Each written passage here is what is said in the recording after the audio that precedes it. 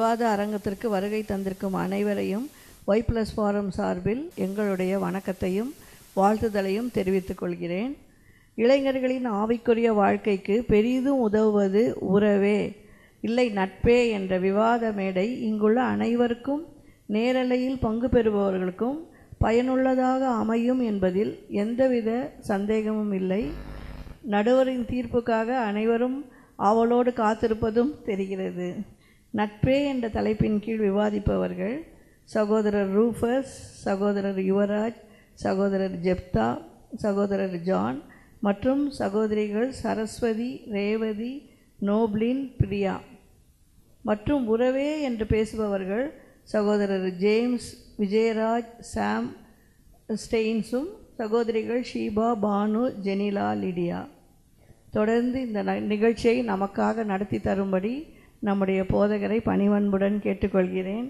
தொடர்ந்து அவளது கருத்தில் தருகிறேன். இன்றைக்குள்ள இந்த விவாத விவாதத்தினுடைய தலைப்பு நம் விவாதிக்க வந்திருக்கோம் இந்த விவாதத்தினுடைய தலைப்பு இளைஞர்களுக்கு இளைஞர்களுக்கு என்று சொல்லும்போது ரெண்டு காரியங்களை இங்கே பேசுகிறவர்களுக்கும் வந்திருக்கிறவர்களுக்கும் நினைப்பூட்டுகிறேன்.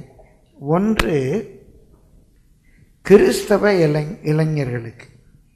ரட்சிக்கப்பட்ட விசுவாசிகளாக இருக்கிற இளைஞர்களுக்கு. பொதுவான இளைஞர்களை பற்றி இப்போது நான் பேசவில்லை. ரட்சிக்கப்பட்டிருக்கிற இளைஞர்கள். இந்த இளைஞர்கள் என்று சொல்லும்போது ஒரு வயது வரம்பை வைத்துக்கொள்வோம் பதிமூன்று வயதிலிருந்து இருபத்தி ஒன்பது வயது வரை. இந்த பதிமூன்று வயதிலிருந்து பத்தொன்பதாம் வயது வரைக்கும் டீனேஜர்ஸ் என்று சொல்லுவார் அந்த இளமையிலே முதல் பகுதி. இருபதுலேருந்து இருபத்தி ஒன்பது வரைக்கும் இளமையில் இரண்டாவது பகுதி. இந்த இரண்டாவது பகுதியில் அவங்க செட்டில் ஆக ஆரம்பிக்கிறார்கள். முதல் பகுதி கொஞ்சம் அவங்களுக்கு எதுவுமே ஒரு புரியாத ஒரு சூழ்நிலை இருக்கும். ஒரு தேடலில் இருப்பார். இருபது வயதுக்கு மேலே கிட்டத்தட்ட இருபத்தி ஐந்து என்று வரும்போது வேலையில் அவங்க செட்டில் ஆக பார்ப்பாங்க. குடும்ப வாழ்க்கையில் செட்டில் ஆக பார்ப்பாங்க. இன்னும் அவங்களுடைய சபை நட்பு இப்படிப்பட்ட காரியங்கள் செட்டிலாக பார்ப்பாங்க. அப்போ இந்த இளைஞர்களுக்கு ரெண்டு பகுதி இருக்குது. தேடல் பகுதி அவங்க நிலை வரப்படுகிற பகுதி. பதிமூன்றுலேருந்து பத்தொன்பது வரைக்கும் தேடல் பகுதி என்று வைத்துக்கொள்வோம் இருபதுலேருந்து அவங்க ஒரு நிலை வரப்படுகிறார்கள். இதுதான் இளைஞருடைய ரெண்டு பகுதிகள். டீன்ஸ் அண்ட் டுவெண்ட்டிஸ் இந்த கிறிஸ்தவ இளைஞர்கள் இவங்களும் ஆவிக்குரிய வாழ்க்கையில் முன்னேறும். ரட்சிக்கப்பட்டிருக்கிறாங்க. ஞான ஸ்நானம் எடுக்கணும் பரிசுத்தாவின் அபிஷேகத்தை பெறணும் சத்தியத்தில் வளரணும். இன்னும் இந்த உலகத்தோடு கூட போராடணும். எது சரி எது தவறு என்பதை தெரிந்து கொள்ளணும் சரியான பாதைக்கு வரணும். அப்போ இந்த வாலிபர்களுக்கு பெரிதும் உதவுவது அனுகூலமாக இருப்பது உறவுகளே. உறவுகள் என்று சொல்லும்போது ரொம்ப விரிவாக இருக்கு. அப்பா அம்மா குடும்பத்தில் அண்ணன் அக்கா தம்பி தங்கை எடுத்துக்கொள்ளலாம் கூடிதான் அக்கா அண்ணன். அந்த உறவுகளை தாண்டி தாத்தா பாட்டி பெரியப்பா சித்தப்பா மாமா அத்தை சித்தி வர்றாங்க. அவங்களுடைய பிள்ளைகள் கசின்ஸ் பங்காளிகள் சொக்காரர்கள் அவங்க ஒரு சர்க்கிள் இருக்கிறாங்க. இப்போ இவங்கெல்லாம் இவங்களும் கர்த்தருடைய பிள்ளைகளாக இருப்பாங்கன்னா இவங்க இந்த பருவத்தில் இருக்கிறவங்களுக்கு இந்த பதிமூன்றுலேருந்து இருபத்தொன்பது இந்த பருவத்தில் இருக்கிறவங்களுக்கு இவங்க அதிகமாக அவிக்குரிய வாழ்க்கைக்கு உதவி செய்ய முடியுமா? இல்லைன்னா ஒரே வார்த்தை நண்பர்கள். நண்பர்கள். இந்த வயதில் நிறைய நண்பர்கள் இருப்பாங்க. ஆவிக்குரிய வாழ்க்கையிலே முன்னேறுவதற்கு நண்பர்கள் உதவி செய்ய முடியுமா என்ற ஒரு கேள்வி. இந்த அணியில் இருக்கிறவங்க ரொம்ப ஸ்ட்ராங்காக இருக்கிறாங்க. உறவுகள் தான் உதவி செய்ய முடியும் அப்படின்னு அஹ் பாப்போமான்னா அம்மா மகாலாம் ஒரே அணியில் இருக்காங்க. மருமகனையும் சேர்த்து வச்சு. பிரியமானவர்களே மருமகன் என்று சொன்னால் ரெண்டு மருமகன். ஒன்று திருமணத்தினால் வந்த ஒரு மருமகன் பிறப்பினாலே வந்த ஒரு மருமகன். எல்லாம் ஒன்றா உட்காந்துருக்குறாங்க அதனால் என்ன ஸ்ட்ராங்காக சொல்கிறேன் எங்களை பாருங்கள் உறவுகள் தான் அப்படிங்கிறாங்க. இந்த பக்கத்தில் பார்த்தா அதே மாதிரி அப்பா மகன் எல்லாம் ஒன்றா உட்காந்துருக்கேன் இல்லைங்க. எங்கள் அப்பாவாலெல்லாம் ஒன்றும் கிடையாது. என்ன உறவுகள் உறவுங்கிறீங்களா? எங்கள் நண்பர்கள் தான். தைரியமாக சொல்ல வந்திருக்கிறேன் அப்பாவையும் பக்கத்தில். அப்பாவும் சொல்கிறான் ஆமாம் ஆமாம் அது இல்லை. நீ என்னாலெல்லாம் ஒன்றும் இல்லை. அவன் நண்பர்களால் தான் அவன் வளர முடியும். நான் கூட வளர்ந்தது என் நண்பர்களால் தான். அதே மாதிரி என் பையன் வளர்றது என் அவன் நண்பர்களால் இருக்கட்டும். அப்படின்னு சொல்ல வந்திருக்கிறேன். யுவராஜ் நட்புக்கே ஒரு புதிய இலக்கணம் சொல்கிறார் அவர் சொல்கிற பாதி நேரம் நமக்கு புரியாது மீதி நேரம் அவருக்கு புரியாது. அவர் நட்புக்கு ஒரு புதிய இலக்கணமே சொல்லிகிட்டு இருக்கிறார். பிரியமாள் இவங்கெல்லாம் எப்படி வேணாலும் இருக்கட்டும். நாங்கள் ரெண்டு பேரும் உறவு தான் நாங்கள் ரெண்டு பேரும் நட்பு தான். ஆனால் நாங்கள் ரெண்டு பேரும் எதிரணியில் தான் இருப்போம். அப்படின்னு சொல்லி வலுக்கட்டாயமாக பேசாத பிள்ளை சாமியும் கொண்டு உட்கார வச்சு நல்ல ஒரு அருமையான டீம் அமைந்திருக்குது. இதெல்லாம் பார்த்த உடனே தான் நேற்று யோசித்தேன் இதை நம்ம ஈவினிங் வச்சிடலாம். அப்போ ஆவிக்குரிய இளைஞர்களுடைய ஒரு முன்னேற்றத்துக்கு கிறிஸ்தவ இளைஞருடைய முன்னேற்றத்துக்கு பெரிதும் உதவுவது உறவே அப்படின்னு அடித்து சொல்ல இந்த அணியினர் ஆயத்தமாக இருக்கிறாங்க. நட்பே என்று சொல்ல இந்த அணியினர் ஆயத்தமாக இருக்காங்க. பொதுவாக பட்டிமன்றத்தில் நாங்கள் கொடுக்குற தலைப்பில் பேசுவாங்க. நான் இந்த முறை அவர்களே இந்த தலைப்பை தெரிந்து கொண்டிருக்கிறாங்க. இந்த தலைப்பை சொன்ன உடனே ஒரு சகோதரி நேரே என்கிட்ட வந்து அங்கிள் நட்பு தான் அங்கிள். நான் பேசின நட்புக்காக தான் பேசுவேன் அங்கிள் என்று சொல்லிட்டு போனாங்க. அதுக்கப்புறம் இன்னொரு சகோதரி வந்தாங்க. அவங்க இல்லை அங்கிள் உறவு தான். நான் உறவுக்காக தான் பேசுவேன்னாங்க. அந்த ரெண்டு பேர்ட்ட ஆரம்பிக்கலாம்னு நான் நினைக்கிறேன். நம்ம பிரியா தான் வந்து சொன்னாங்க நட்பு தான். நான் ஏன் நட்புன்னு சொன்னேன்னா இப்போ ஒரு பிள்ளை வந்து ஒரு ரட்சிக்கப்படாத குடும்பத்துல இருந்து அவ ரட்சிக்கப்படுறா. புதுசா ரட்சிக்கப்படுறா. அப்போ வந்து அவ- அவளோட முதல் எதிரியே அவர் குடும்பமா தானே இருக்க முடியும். ஓஹோ ரட்சிக்கப்பட்ட உடனே முதல் எனிமையே குடும்பம் தான். குடும்பம் உறவுகள் தான். நீனா அப்படியே கிறிஸ்துவ பக்கமே போயிட்டு இருக்க சர்ச்சுக்கு போறேன்னா நான் உன்னை விடுறேன். அதுக்கு நீ அப்படியே போயிருவியா? அப்படின்னு சொல்லிட்டு ஆவிக்குரிய வாழ்க்கைக்கு தடையே உண்டு பண்றாங்க அவங்க. ஆவிக்குரிய வாழ்க்கை நம்ம பைபிள்லேயே போட்டிருக்கல உன் குடும்பத்தார் தான் உனக்கு சத்துருன்னு சொல்லி அதனால் முதல் இனிமையே குடும்பம் தானே அப்படின்னு அவங்க சூழ்நிலை அவங்க பின்னணியில் இருந்து அந்த கருத்தை எடுத்து சொல்கிறாங்க நீங்கள் என்ன நினைக்கிறீங்க லிடியா? லிடியா தான் சொன்னாங்க உறவுக்காக நான் பேசுவேன்னு சொல்லி லிடியாட்ட ஆரம்பிப்போம் அவனுடைய முதல் பாயிண்ட் சொல்லியிருக்காங்க. நம்ம வெளி உலகத்துக்கு போகும்போது வாலிப பசங்க வெளி உலக உலகத்துக்கு போகும்போது அவங்க ஃபேஸ் பண்ணுற மிகப்பெரிய போராட்டமே வந்து பீர் ப்ரெஷர் அப்போ அந்த பீர் ப்ரெஷரில் வந்து அவங்க நிலைத்து நிற்க காரணம் அதாவது அவங்களுக்கு இடம் கொடுக்காம அவங்க கொடுக்குற ப்ரெஷருக்கு இடம் கொடுக்காம சத்தியத்தில் வந்து நிலைத்து நிற்கிறாங்க அப்படின்னா வந்து அவங்க பெற்றோருக்கு அது பிடிக்காது. நான் ஒரு வேளை அந்த பீர் ப்ரெஷருக்கு இடம் கொடுத்து நான் ஏதாவது பாவம் செஞ்சேன்னா அது என்னுடைய பெற்றோருக்கு பிடிக்காது அப்படின்ற ஒரு காரணத்தினால அவங்க அந்த பாவம் செய்யாமல் நிற்கிறாங்க அதனால வந்து என்னுடைய ஆவிக்குரிய வளர்ச்சிக்கு உறவினர் தான் அப்படின்னு சொல்லி நான் சொல்லுவேன் இப்போ நம்ம எப்போதுமே நம்முடைய உறவுகள் தான் காரணம்னு நம்ம எதிரின்னு நம்ம நினைக்க வேண்டாம். நம்ம இந்த உலகத்தில் வாழும்போது எவ்வளோ பீர் ப்ரெஷ் ப்ரெஷர்னால் நம்முடைய உடன் நண்பர்கள் நண்பிகள் இவங்களால வரக்கூடிய தாக்கம். நம்ம அதில் இழுப்புண்டு போகாமல் இருக்க நம்முடைய ஃபேமிலி சப்போர்ட் தான் நம்முடைய வளர்ச்சிக்கு ரொம்ப தேவைப்படுது அப்படின்னு சொல்கிறாங்க தம்பி நீங்கள் என்ன நினைக்கிறீங்க? எப்தா குடும்பத்தை வந்து நம்ம தேர்ந்தெடுக்க முடியாது அங்கிள். குடும்பம் வந்து நமக்கு அந்த குடும்ப வழியா வர்றது தான் குடும்பத்தை நம்ம தேர்ந்தெடுக்க முடியாது. நட்பை வந்து நம்ம தெரிந்து கொள்ளலாம். நட்பை நம்ம தெரிந்து கொள்ளலாம். இந்த இடத்துல நான் அப்துல் கலாம் சொன்ன ஒரு வரியை சொல்ல விரும்புறேன் அங்கிள். சொல்லுங்க. நம்மளுடைய பிறப்பு ஒரு சம்பவமாக இருக்கலாம். நம்முடைய பிறப்பு ஒரு சம்பவம். சரி. நம்மளுடைய இறப்பு ஒரு சரித்திரமா இருக்கணும். நம்முடைய இறப்பு ஒரு சரித்திரமா இருக்கும் நம்முடைய பிறப்பு ஒரு சம்பவம் இறப்பு ஒரு சரித்திரம். சரித்திரமா இருக்கணும். ஸோ அந்த சம்பவம்ங்கிறது வந்து நம்மளுடைய உறவுகள். சம்பவமா வந்துருச்சு நம்ம பிறந்துட்டோம் அதை மாற்ற முடியாது. நம்மளுடைய நண்பர்கள்ங்கிறவங்க வந்து நம்ம தேர்ந்தெடுத்து கொள்ளலாம் அதில் நல்ல நண்பர்கள் நம்ம தேர்ந்தெடுக்கும் போது நம்மளுடைய வாழ்க்கையை நம்ம சரித்திரமா மாற்றக்கூடிய ஒரு வாய்ப்பு நண்பர்களை எடுக்கும்போது நமக்கு கிடைக்குது. ஒரு நண்பர்கள் நல்ல நண்பர்களை நம்ம தெரிந்து கொள்ளும்போது நல்ல வாய்ப்பு கிடைக்குது. ஜெயின்ஸ் ஒரு மறுப்பு கருத்து வச்சிருக்கிறாரு. அங்கிள் அவரே சொல்லிட்டாரு ஃப்ரெண்ட்ஸை நம்ம தேர்ந்தெடுக்கிறோம். குடும்பத்தை ஏசப்பாவே நம்மளுக்கு அனுப்புறாரு. நல்ல கருத்துக்களை சொல்லும்போது நீங்கள் எல்லாம் கரங்களை தட்டுங்க. நண்பர்கள் நம்ம தேர்ந்தெடுக்கிறோம் அதில் நம்ம தப்பு கூட விடலாம். ஆனால் குடும்பங்கிறது நமக்காக ஏசப்பா கொடுத்தது. என்ன ஜான்? அம்மா அக்காலாம் ஒரு சைடில் இருக்கிறாங்க. நீங்கள் தைரியமாக எதிர்த்து உட்காந்துருக்கிறீங்க சரி அவங்கள பார்க்காதீங்க. என்ன பார்த்து சொல்லுங்கள் பயப்படாதீங்க. அங்கிள் என் லைஃப்பில் நடந்த ஒரு இன்சிடெண்ட்டை சொல்கிறேன் ஆ பாருங்க ப்ராக்டிக்கல் லைஃப்பில் அவருடைய லைஃப்லேருந்து சொல்கிறாரு நான் இப்போ புது ஸ்கூல் போயிருக்கேன். அங்கே நிறைய பேர் எனக்கு ஃப்ரெண்டாக தான் இருக்காங்க. அதில் ஒரு பையன் ரொம்ப கெட்டவனாக இருக்கான். ஆனால் அவங்க அம்மா அப்பாலாம் கிறிஸ்டின் அவனும் கிறிஸ்டின் தான். நான் ஒரு நாள் அவங்க கூட அந்த ஆன்ட்டி கிட்ட பேசும்போது நீ கிறிஸ்டினா கேட்டாங்க ஆமாம் கிறிஸ்டின்னு ஒரு ரெண்டு நாள் கழித்து என் ஃபோன் நம்பர் எப்படியோ தெரியாமல் யார்கிட்ட இருந்தோ வாங்கி என்கிட்ட ஃபோன் பண்ணாங்க. இது மாதிரி ஜான் நீ கிறிஸ்டின் தானே? ஆமாம் ஆண்டி. என் பையனும் கிறிஸ்டின் தான் அவன் கெட்ட பையனாக இருக்கா? நீ நீ தான் வழி நடத்தணும். என்னால் முடியல அவனை வழி நடத்த. தேவன் தான் ஒன்று அனுப்பிச்சிருக்காரு. நாங்கள் அப்பா அம்மாவாக இருந்தாலும் நீ தான் அவன் கூட இருந்து வழி நடத்தணும் என்று சொன்னாங்க. நல்ல அவருடைய அனுபவத்திலேருந்து சொல்கிறாரு அந்த பேரண்ட்ஸே சொல்லியிருக்கிறாங்க. எங்களால் அவன் ஆவிக்குரிய வாழ்க்கையில் நடத்த முடியல.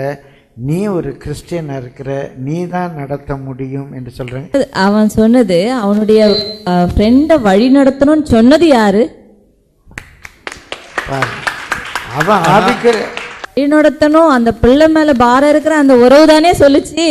அந்த உறவு சொல்லி தானே அந்த நட்புக்கு வந்திருக்கு நட்பு வட்டாரத்துக்கு? அந்த உறவுக்கு தான் தெரியுது அந்த நண்பனால தான் மாற்ற முடியும் அவங்களால முடியாது.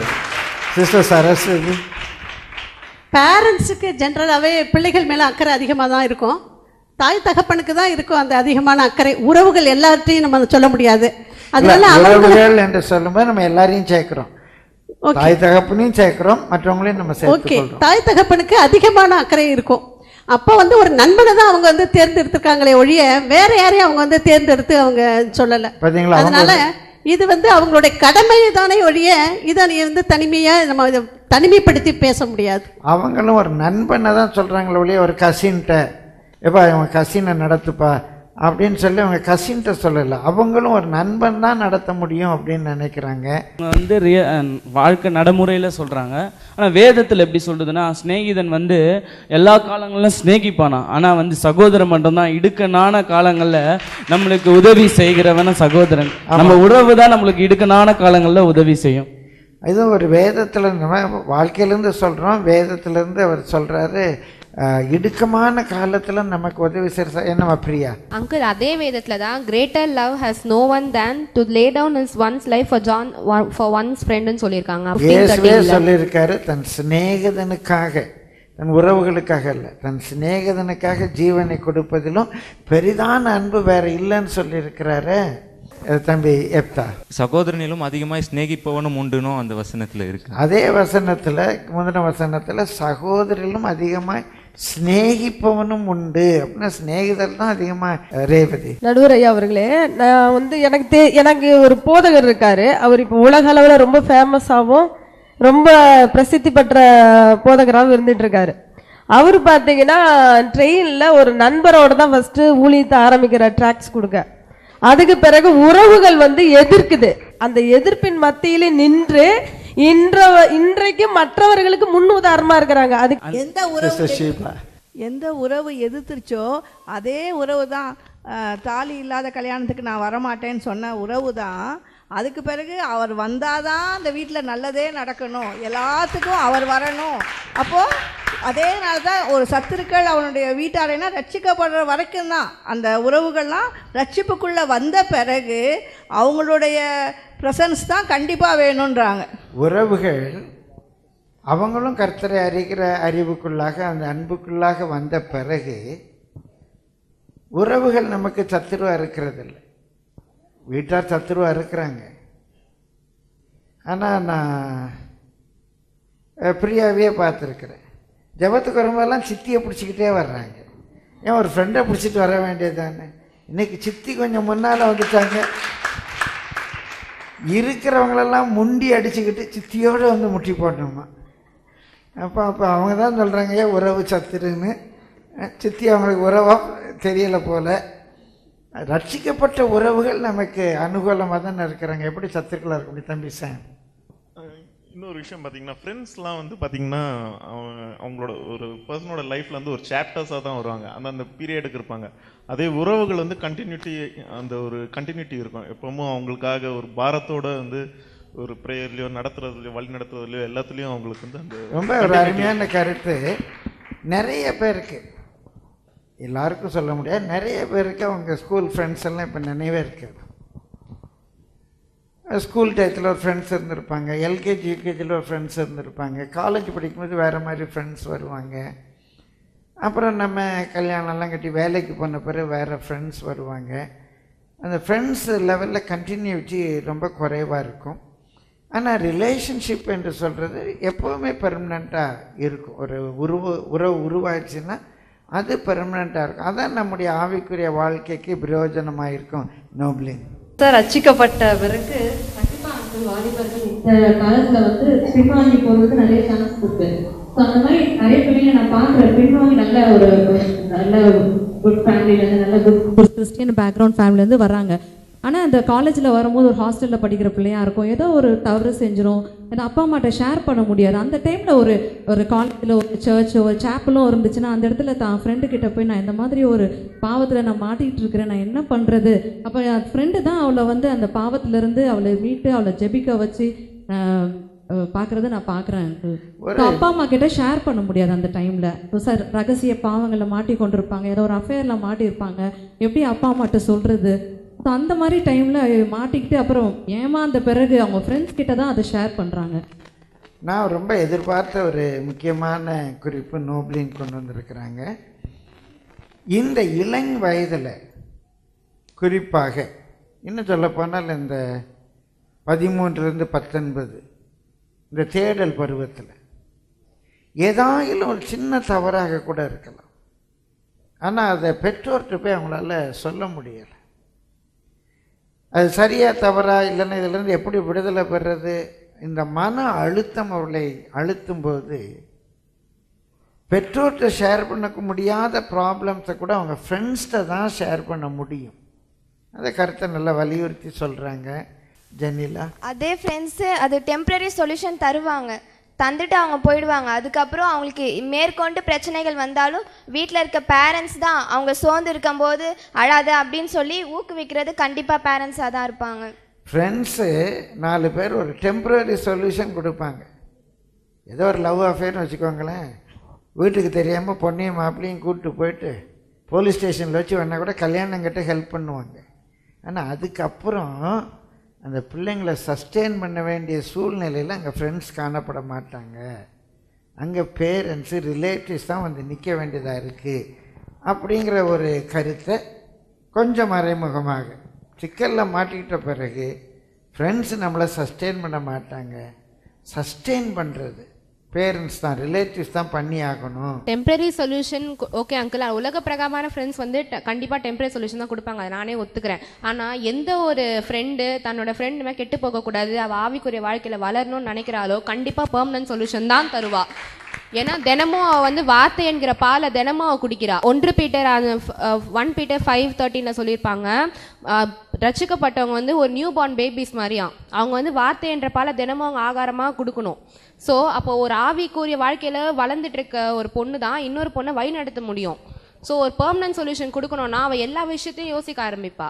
அதனால் அது ஒரு சாதாரண உலகப்பிரகாரமான ஃப்ரெண்ட்ஸை சொல்லலை ஆவிக்குரிய ஃப்ரெண்ட்ஸ் ஆவிக்குரிய ஃப்ரெண்ட்ஸ் இருப்பாங்களான்னா நமக்கு நல்ல பெர்மனன்ட் சொல்யூஷன் கொடுப்பாங்க. ஆனால் ஆவிக்குரிய ஃப்ரெண்ட்ஸ் இருக்கா இருக்காங்கன்னு சொன்னாங்க. குடும்பம் full- நல்ல ஒரு ஆவிக்குரிய குடும்பம் வந்தால் அவங்க ஃப்ரெண்ட்ஸ் கிட்ட போய் கேட்க வேண்டிய அவசியமே கிடையாது. தன்னுடைய பெற்றோரை விட தன்னுடைய உறவுகளை விட அவங்க ஃப்ரெண்ட்ஸ் அதிகமாக அவங்க வழிநடத்த மாட்டாங்க. தன்னோட வீட்டில் அவங்க அப்பா அம்மா. உறவுகள் எப்படி அவங்க இருக்காங்கன்னு கண்கூட பார்க்குறாங்க ஸோ அவங்களுடைய பார்வையில் அவங்கள ஃபாலோ பண்ணுவாங்க தவிர்த்து ஃப்ரெண்ட்ஸை ஃபாலோ பண்ணுற வாய்ப்பு கிடையாது. இப்போ ரெண்டு பேலன்ஸ் பண்ணுங்க. ஒரு ஆவிக்குரிய ஃப்ரெண்டு ஒரு ஆவிக்குரிய குடும்பம் என்று இருக்குமானா ஆவிக்குரிய குடும்பம் தான் நம்மளை வழி நடத்த முடியும் ஃப்ரெண்ட்ஸை விட. என்னதான் ஆவிக்குரிய ரொம்ப குடும்பமா காரசாரமா இருந்தாலும் நான் இருக்குது. பாக்குறேன் அங்கிள் நான் சாட்சி அதுக்கு பிள்ளைங்க அப்பா அம்மா கிட்ட சொல்றதுக்கு அப்படி பயப்படுறாங்க. ஐயோ எங்க அப்பா அம்மாக்கு தெரிஞ்சா ரொம்ப வருத்தப்படுவாங்க. அவங்களுக்கு ஏதாவது ஆயிருமோ ஹார்ட் அட்டாக் வந்துருமோ அப்படிலாம் நிறைய பிள்ளைங்க சொல்றாங்க. போவே மாட்டேங்குது. எப்படி ஃப்ரெண்ட்லி ஃபாதரா இருந்தாலும் சரி டேட் மாம் எப்படி கூப்பிட்டாலும் சரி அவங்க கிட்ட அந்த விஷயம் போகவே மாட்டேங்குது. ஃப்ரெண்ட்ஸ் கிட்ட தான் அவங்க ஷேர் பண்றாங்க. இல்லை இப்போ இருக்கிற சூழ்நிலை பார்த்தீங்கன்னா ஃப்ரெண்ட்ஸோட நெட்வொர்க் ஆவிக்குரிய ஃப்ரெண்ட்ஸ் நெட்வொர்க்லேயே பார்த்தீங்கன்னா இப்போ இருக்க மீட்டிங்ஸோ கெட் டுகெதரோ வந்து அவங்களை கெடுக்கிறதா தான் இருக்குது ஆவிக்குரிய வாழ்க்கையில். யாருமே வந்து அவங்களுடைய ப்ராப்ளத்துக்கு சொல்யூஷன் கொடுக்குற மீட்டிங்ஸ் நடக்கிறதில்ல இப்போ இருக்க சூழ்நிலையில் இப்போ இருக்கிற சூழ்நிலையில் நம்ம ஆவிக்குரிய ஃப்ரெண்ட்ஸுன்னு எடுத்தால் கூட பலவிதமான சபைகள் பலவிதமான உபதேசங்கள் பலவிதமான ப்ரோக்ராம்ஸ் இப்போ எனக்கு தெரிந்து ஒரு நல்ல ஒரு சிறு பிள்ளைகள் மத்தியில் உள்ள ஒரு ஊழியம் இருக்குது நான் சொல்ல விரும்பலை. சரி சொல்கிறேன் பரவாயில்ல பொதுவான விபிஎஸ் இந்த பொதுவான விபிஎஸில் ஒரு கான்செப்டே பேர் கிறிஸ்தவ சபைகளில் இந்த விபிஎஸில் புதுசாக டீச் பண்ண வர்றவங்க. இளம் பருவத்தில் டீச் பண்ண வர்றவங்க. ஏன்னா நான் அந்த பின்னணியிலேருந்து வந்ததுனாலே சொல்லு விபிஎஸில் ஒரு குடும்பங்களாகவே மேட்ச் பண்ணுறது அதுக்கு விபிஎஸ் ஒரு சேனல்னே சொல்கிறாங்க நம்ம ஆவிக்குரிய சபைகள் அப்படி இல்லை. அப்போ நம்ம ஃப்ரெண்ட்ஸு பல விதமான சபைகள்லேருந்து வர்றாங்க. பல அனுபவங்கள்லேருந்து வர்றாங்க. அதனால் அவங்க ஆவிக்குரிய ஃப்ரெண்ட்ஸ் என்று எடுத்தாலும் அவங்க நம்ம ஆவிக்குரிய நிலையில் நடத்துவாங்க அந்த சபையில் இந்த விபிஎஸ்ல தான் இதில் தான் இதெல்லாம் நடக்கும்னு சொல்லி கொடுப்பாங்க. அந்த ஃப்ரெண்ட்ஸ் இதெல்லாம் தப்பு இல்லைன்னு கூட சொல்லுவாங்க. முதல் முதல்ல ரசிக்கப்பட்டது பார்த்தீங்கன்னா எங்கள் மாமா ஜெய்பால் மாமா. அவர் மூலியமாக தான் டோட்டல் எங்களுடைய ஃபேமிலி ஃபுல்லாகவே ரட்சிக்கப்பட்டது இப்போது ஆவிக்குரிய ஃப்ரெண்ட்ஸுங்கனால இப்போது அவங்களுடைய ஃப்ரெண்டுங்குள்ளே போயிட்டு ஒரு பத்து பேர் அவங்களால அவங்க ஒரு ஃப்ரெண்டு ரட்சிக்கப்பட்டு பத்து பேர் ரட்சிக்கப்பட்டு நான் இது வரைக்கும் பார்த்ததில்ல. ஆனால் ஒரு குடும்பத்தில் ஒருத்தர் ரட்சிக்கப்பட்டா இன்னொருத்தர் ரட்சிக்க பண்ணுமே என் தம்பி ரட்சிக்க பண்ணுமே என் தங்கச்சி ரட்சிக்க பண்ணுமேன்னு சொல்லிட்டு அவங்களுடைய குடும்பத்தில் இருக்கிற உறவினர்களுடைய ஒரு இருதயம் எவ்வளோ வாஞ்சிக்கிறது அவங்க எல்லாருமே டோட்டலாக ரட்சிக்கப்படுவாங்கன்னு சொல்லிட்டு நான் இருக்கேன். ஜெயபால்ங்கிற ஒரு ஆள் அவர் மூலமாக ஒரு குடும்பமே ரட்சிக்கப்பட்டது. ஆனால் இந்த ஜெயபால் நமக்கு தெரிஞ்சு இது வரைக்கும் ஒரு ஃப்ரெண்டை ரட்சிப்புக்குள்ளே நடத்தும் அதனால் விஜயராஜ் சொல்கிறாரு குடும்பம் தாங்க நடத்தும் அப்படிங்கிறாரு. ஏதோ உதவி செய்யறது நட்பா உறவா தான் கேள்வியே. இப்போ அவங்க யாரு ரட்சிக்கப்பட வச்சாங்க யாரு ரட்சிக்கப்பட வைக்கல எத்தனை பேர் வச்சாங்கங்கிற கேள்வி அல்ல. பெரிதும் உதவி செய்யறது எது? அதுதான் இப்போ ஃப்ரெண்ட்ஸுங்கிற போது இப்போ ஆவிக்குரிய ஃப்ரெண்ட்ஸுக்கு ஒரு செவன் கேரக்டரிஸ்டிக்ஸ் கொடுத்துருக்காங்க. They love one another they accept one another they are loyal to each other they teach one another they correct one another they share their burdens with each other they encourage each other அதை வாசிங்கம்மா தமிழில் சொல்லிடலாம். They love one another. இந்த friends மத்தியில் மிக எளிதாக ஒருவரை ஒருவர் நேசிப்பார் குடும்பத்தில் உறவுகள் மத்தியில் உங்கள் கசின்ஸ் எல்லாம் நீங்கள் அப்படி ரொம்ப நேசிக்கிறீங்கன்னுலாம் சொல்ல முடியாது. சித்தப்பா பெரியப்பா உங்களை அப்படி நே ஒருவேளை அப்பா அம்மா கடமையில் நேசிப்பாங்க. ஆனால் ஃப்ரெண்ட்ஸ் என்று சொன்னால் எல்லாருமே ஒருவரை ஒருவர் நேசிக்கிறார்கள். அப்புறம் accept one another. ஃப்ரெண்ட்ஸ் எல்லாருமே ஒருத்தர் ஒருத்தர் எளிதாக அக்செப்ட் பண்ணுறாங்க ஃப்ரெண்ட்ஸ் மத்தியில் பொதுவாக ரொம்ப காம்படிஷன் ஆனால் கசின்ஸ் மத்தியில் அக்செப்டன்ஸுங்கிறது ரொம்ப குறை. அவன் இவ்வளோ படிக்கிறான் அப்போ என் பிள்ளை இப்படி படிக்கணும். அவன் இப்படி வந்துட்டான் என் பிள்ளை இப்படி வரணும். இல்லைன்னா அந்த பிள்ளை இப்படி வந்துடக்கூடாது. நம்மளோட நல்லா போயிடக்கூடாது. அப்படிங்கிறதான் இருக்க ஒழிய ரொம்ப அக்செப்டன்ஸ் இல்லை. ஆனால் ஃப்ரெண்ட்ஸ் மத்தியில் ஒருத்தர் ஒருத்தர் நல்லா அக்செப்ட் பண்ணுறாங்க they are loyal to each other. பொதுவாக ஃப்ரெண்ட்ஸ் ஒருவருக்கு ஒருவர் உண்மை உள்ளவர்களாக இருக்கிறாங்க. ஆ. they are teach one another. They teach one another. இந்த ஃப்ரெண்ட்ஸ் வந்து ஒருத்தருக்கு ஒருத்தர். நல்ல காரியமா கெட்ட காரியமா சொல்லி கொடுக்குறாங்க. இது இப்படி செய்யணும் அப்படி செய்யணும்னு ரூட் போட்டு கொடுக்குறாங்க. ஃப்ரெண்ட்ஸ் ஒருத்தருக்கு ஒருத்தர் டீச் பண்ணுறாங்க they correct one another. அதில் தவறு செய்யும்போது ஃப்ரெண்ட்ஸ் வந்து பொதுவாக ஒருத்தர் ஒருத்தர் இப்படி செய்யாதடா இப்படி செய்யாதடா தப்பு காரியமானாலும் நல்ல காரியமானாலும் ஒருத்தரை ஒருத்தர் கரெக்ட் பண்ணுறாங்க they share their burdens with each other. Friends வந்து தங்களுடைய பாரங்களை ஒருவரோடு ஒருவர் பகிர்ந்து கொள்கிறாங்க அப்படி நம்ம குடும்பங்களில் பெற்றோர் கூட தன்னுடைய எல்லா பாரத்தையும் பிள்ளைகள்கிட்ட சொல்ல முடியாது. பிள்ளைகள் எல்லா பிரச்சனைகளையும் பெற்றோர்கிட்ட சொல்ல முடியாது. இப்படி தான் நட்பு அமைகிறது என்று சொல்கிறாங்க they encourage each other. Friends ஒருத்தரை ஒருத்தர் என்கரேஜ் பண்ணுறாங்க அப்படி நம்ம ரிலேட்டிவ்ஸ் நம்ம ரிலேட்டிவ்ஸ் என்றால் பெற்றோரை தாண்டி. The sweet friends refreshes the soul. நல்ல இனிமையான நண்பர்கள் நம்ம ஆத்மாவை புதுப்பிக்கிறார்கள். இப்படியாக சொல்லப்பட்டிருக்கு. அப்படிங்கிற விஷயத்தில் வந்து நமக்கு இப்போ பெரிதும் உதவி செய்கிறது யாருன்னு பார்க்குற பட்சத்தில் நண்பர்கள் தான் நமக்கு வந்து அவங்களுடைய வாழ்க்கையை திருப்பி கிரைஸ்டுக்குள்ளே அவங்களுக்கு ரூட் ரொம்ப டீப் அண்ட் டீப்பராக போகிறதுக்கு உதவி செய்கிறது வந்து நண்பர்கள் ஒவ்வொரு வகையிலையும் அவங்கள ஸ்பிரிச்சுவலி இமோஷனலி ஃபிசிக்கலி அப்படிங்கிற அந்த மாதிரியான விஷயத்துல எல்லாம் அவங்க வந்து ரொம்ப ஹெல்ப் பண்ணுறாங்க அவங்க ஒரு நண்பன் வந்து ஒரு விஷயத்துக்கு அழறான்னு வச்சுங்க. அப்போ வந்து அவனுடைய கஷ்டங்களை புரிந்து தன்னுடைய ஆவிக்குரிய சாட்சிகளை சொல்லி தன்னுடைய ஸ்டோரிகளை சொல்லி பைபிளில் இருக்கிற வேல்யூஸ் எல்லாம் சொல்லி அந்த மகனை வந்து அந்த பையனை அந்த நண்பனை வந்து மேலே தூக்கி விடுகிறது நண்பர்களால் மட்டும்தான் முடியும். ஏன்னா எல்லாத்தையுமே வந்து பேரண்ட்ஸ்கிட்ட ஹைட் பண்ண தான் பார்ப்பாங்களே சில விஷயங்களை நண்பர்கள் விட்டு இளைஞர்கள் மத்தியில் நான் பேசுகிறது இளைஞர்கள் மத்தியில் அவங்க வந்து ஹைட் பண்ண தான் பார்க்குறாங்களே அம்மா அப்பாட்ட கூட அதை பேசணும் அப்படிங்கிற ஒரு சூழ்நிலைகள் அவங்களுக்குள்ள அந்த மனநிலைகள் வந்து வரமாட்டேன். இப்போ உதாரணமாக பெரிதும் இந்த சிக்கலே வந்து குடும்பம் உதவி செய்யுமா நண்பர்கள் உதவி செய்யுமா என்றால் ரெண்டு பேரும் நம்முடைய ஆவிக்குரிய வாழ்க்கைக்கு உதவ முடியும். பெரிதும் இந்த பெரிதும் என்பதில் தான் பொதுவாகவே சிக்கல் வருகிறது. இப்போ ஏசுகிறதுக்கு பன்னெண்டு சீடர்கள் இருந்தாங்க. எல்லாரும் சீடர்கள் தான். இதில் பெரிய சீடர் யார்? நீயா நானா? அதில் தான் அவங்களுக்கு பிரச்சனை வந்து பெரிய சீடன் யார்? எல்லாரும் சீடர்கள் தான். இல்லை பெரிய சீடன் யார்? இந்த மாதிரி உறவுகளும் நமக்கு உதவி செய்ய முடியும் நண்பர்களும் உதவி செய்ய முடியும். அதில் பெரிதும் உதவி செய்யக்கூடியது யார்?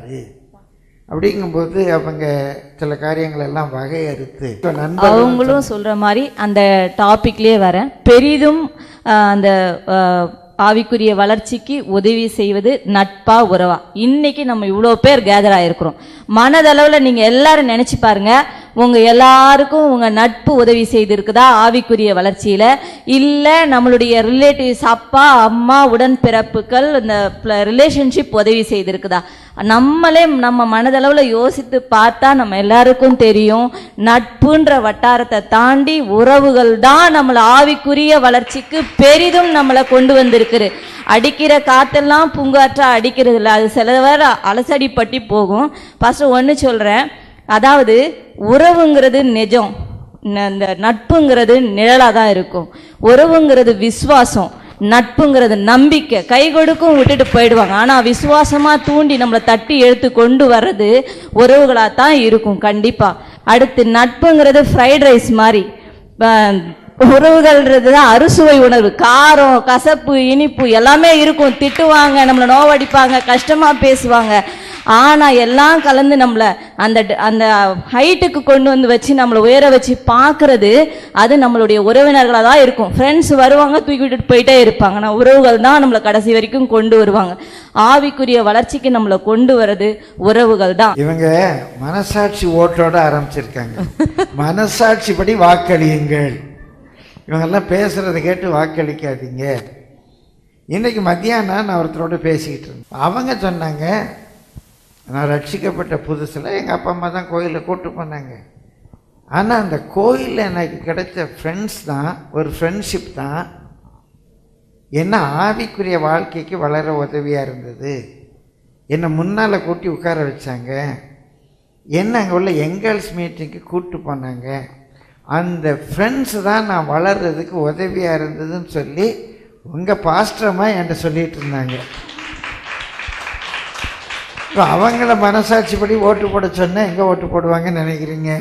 இப்போ நோப்ளின் அங்கிள் நான் ஃபஸ்ட்டு ரட்சிக்கப்பட்ட புதுசில் வந்து எல்லாருமே நம்ம ட்ரெடிஷ்னல் சிஎஸ்ஏ பேக்ரவுண்ட்லேருந்து வந்திருக்கோம். அப்போ அந்த டைமில் வந்து என்னுடைய சிஸ்டர் இழந்த அப்புறம் இழந்த அப்போ வந்து அப்போ தான் நான் புதுசாக ரட்சிக்கப்பட்டது டுவெல்த்து முடிஞ்சு. இழந்த அப்போ வந்து உண்மையில அதை தாங்கிக்கவே முடியல. அந்த டைமில் வந்து ஆண்டவரே எனக்கு தேவையே இல்லை அப்படின்னு நான் சொன்னேன். மீன்வயல் அப்போ அப்பா அம்மா எல்லாருமே சொல்லி. ஆண்டவரே எனக்கு வேண்டாம் அப்படின்ற ஒரு. ஒரு டஃப் சுச்சுவேஷன்ல இருக்கும் போது அப்பதான் நான் ரட்சிக்கப்பட்டு புதுசுல வந்து தாங்கிக்கவே முடியல. அப்போ அப்பா அம்மா எல்லாருமே வந்து இழப்புல வந்து கஷ்டப்பட்டுட்டு இருக்காங்க. அவங்க நம்ம கிட்ட வந்து எதுவும் பேச முடியாது. அந்த டைமில் ஒரு ஃப்ரெண்டு வந்தா அங்கிள் கிளாடிஸ் அவள் பேர். அவர் ஒரு பாஸ்டரோட மனைவி இப்போ. அவள் வந்து என்னை வந்து அந்த மே மாதத்தில் என்னை வந்து எனக்கு ஆண்டவரே வேண்டாம் அப்படின்னு நான் சொல்லும் போது என்னை வந்து ஒரு கேம்பை கூட்டு போய் என்னை வந்து அவ்வளோ என்னை வந்து நீ அப்படி சொல்லாத. ஆண்டவர் தான் நமக்கு எல்லாமே அப்படின்னு சொல்லி அந்த கேம்பை கூட்டு போய் என்னை என்னை அந்த அந்த பேசிக் டைமில் ஒரு டஃப் சுச்சுவேஷனில் ஃப்ரெண்டு தான் அங்கிள் என்னை கூட்டிகிட்டு போனேன். குடும்பமே ஒரு டஃப் சுச்சுவேஷனில் இருக்கும்போது ஒருத்தருக்கு ஒருத்தர் உதவ முடியாது. அந்த சூழ்நிலையில் இவங்க கிறிஸ்துவை விட்டே விலகி போகாதபடி ஆண்டவரே வேண்டாம் அப்படின்னு விலகி போகாதபடி இவங்க ஆவிக்குரிய வாழ்க்கைக்கு உதவி செய்தது ஒரு ஃப்ரெண்டு தான். ரேவதியுடைய வேடை கேட்டுட்டு நம்ம இங்கே வருவோம். சொல்லுங்கள் இப்போ பார்த்தீங்கன்னா உறவுன்னு சொன்னா உதடுகள் கூட ஒட்ட மாட்டேங்குது. நட்புன்னு சொல்லுங்க பாருங்க அதுல பூ இருக்கு உதடுகள் கூட ஒட்டுது. அப்ப அந்த வார்த்தையிலே ஒட்டாத உறவு எப்படி நட்பு? இன்னொன்னு பார்த்தீங்கன்னா, யாக்கோப்பு ரெண்டு இருபத்தி மூணுல தேவனுடைய சிநேகிதன் எண்ணப்பட்டான் சொல்லப்பட்டிருக்குது. நிறைய இதுல பாத்தீங்கன்னா தேவனே வந்து சிநேகிதத்தை வந்து ரொம்ப விரும்பி இருக்கிறாரு ஏசையா நாற்பத்தி ஒண்ணு ஏழுல பாத்தீங்கன்னா சிநேகிதனான ஆபரகாமின் சந்ததியே அப்படின்னு சொல்லப்பட்டிருக்கு. ரெண்டு நாளாகம் இருபது ஏழுல ஆபரகாமுடைய சந்ததிக்கு என்றென்றும் அதுலயும் வந்து சிநேகிதனாகி ஆபரகாமுடைய சந்ததிக்குன்னு சொல்லப்பட்டிருக்கு. யோவன் மூணு பதினாறுல பாத்தீங்கன்னா தேவன் தம்முடைய ஒரே குமாரனையே கொடுத்தாருக்கு மற்ற எல்லாம் கொடுத்திருக்க மாட்டான் அவ்வளவு சிநேகிதம் வச்சிருந்ததுனால தான் உயிரையே கொடுக்க தன்னுடைய குமாரனையே அனுப்பி உயிரை கொடுக்க வச்சிருக்காரு. ரோமர் பத்து ஒண்ணுல பாத்தீங்கன்னா சகோதரர் இஸ்ரவேல் ரட்சிக்கப்பட வேண்டும் என்பதை என இருதயத்தின் விருப்பமும் நான் தேவ தேவனை நோக்கி செய்யும் விண்ணப்பமாய் இருக்கிறது அவரோட விருப்பமும் வந்து சிநேகத்து மேல அதிகமா இருந்தது. இஸ்ரவேல் ரட்சிக்கப்படணுங்கிற விருப்பம் வந்து உறவுகள் தான். அவருடைய குடும்பத்தார் இஸ்ரவேல் ரட்சிக்கப்படணும். அப்படிங்கிறது அவருடைய உறவுகள் அவருடைய இனம் அவருடைய இனம் ரட்சிக்கப்படணும்னு தான் விரும்பி இருக்கு எனக்கு ஸ்கூல்ல இருந்த ஃப்ரெண்ட்ஸ் என் காலேஜில் இருந்த ஃப்ரெண்ட்ஸ் என் கூட படிச்சவங்க எல்லாம் ரட்சிக்கப்படணும்னு அவர் சொல்லலை. இன்னொன்னு சொன்னாங்க தேவன் நம்முடைய சொந்த குமாரனையே கொடுத்தவுடைய அன்பை காட்டினாருக்குன்னு சொல்லி சொல்லியிருக்க ஒழிய ஃப்ரெண்டு ஆபிரகாமையே கொன்னாரு? இல்லைன்னா ஃப்ரெண்டு இன்னொரு ஃப்ரெண்டையா கொன்னாரு? அவர் அங்கே தன்னுடைய அன்பை காட்டுவதற்கே அந்த உறவை தான் அவர் முக்கியப்படுத்தியிருக்கிறாரு. ஏதோ ஒரு இடத்துல ஆபிரகாமுக்கு சிநேகிதன் அப்படின்னு சொல்லியிருக்கிறார் ஒழிய நம்ம எல்லாருக்கும் அவர் தன்னை பிதா அப்படின்னு ஒரு உறவை தானே காட்டுறாரு அப்படின்னும் நம்ம யோசிக்க வேண்டியதாக இருக்குது. தம்பி யுவராஜ். இப்போ அப்படி பார்த்தோம்னா எல்லாருமே உறவுகள் தான் பாஸ்டர். எல்லாருமே போய் கலையை பிடிச்சிட்டு போயிட்டே இருந்தோம்னா கடைசியில் ஆதாம் ஏவால்ல நிற்கும் அப்படி பார்த்தா எல்லாருமே. முடிச்சிட்டாரு உங்க கட்சிக்காக. எல்லாம் உறவு தான் இல்ல அப்படி பார்க்க முடியாதுன்னு சொல்ல Actually, நான் சொன்ன பார்க்க முடியாது. அப்படி நாம பே அப்படி நம்ம உறவுகள் தான் அப்படின்னா இந்த டிபேட்டே தேவையில்ல. க்ளோஸ் பண்ணிட்டு போயிட்டே இருக்கலாம். எல்லாருமே ஆதாமுடைய பிள்ளைகள். அப்புறம் நான் நட்பு உறவு எல்லாம் ஒன்று தான் முடிச்சுட்டு போயிடலாம். அப்போ இந்த டிபேட்டே வைக்க வேண்டியதில்லை. நான் எதுக்காக இதை சொல்ல வந்தேன் அப்படின்னா நட்புங்கிறது உறவுகள்ன்றது இப்போ நாம பார்க்கிறது நமக்கு கண்ணுக்கு தெரிஞ்ச ரத்த சம்பந்தமான உறவுகளும் ரத்த சம்பந்தத்துக்கு வெளியில் உள்ள உறவுகளும். அதுதான் இப்போ நம்மளுடைய ரெண்டு விஷயமா இருக்க முடியும். அதுக்காக இஸ்ரேவேலர்கள் எல்லாருமே அவர்கள் சகோதரர்னா இஸ்ரேவேல் அவர் பென்யமின் கோத்திரத்தில் பிறகுறாரு அவர் மற்றவங்களாம் வேற கோத்திரத்தில் இருக்காங்க. அவங்க அப்பாவே வேற ஃபோர் ஃபாதரே வேற. ஸோ அப்படிலாம் பார்த்தா அப்போ இந்தியர்கள் எல்லாரும் என்னுடைய சகோதரர்கள் ஆயிடுவாங்க அந்த டீம்ல இருக்கவங்களும் எங்கள் சகோதரர்கள் இவங்க எல்லாருமே சகோதரர்கள் தான்.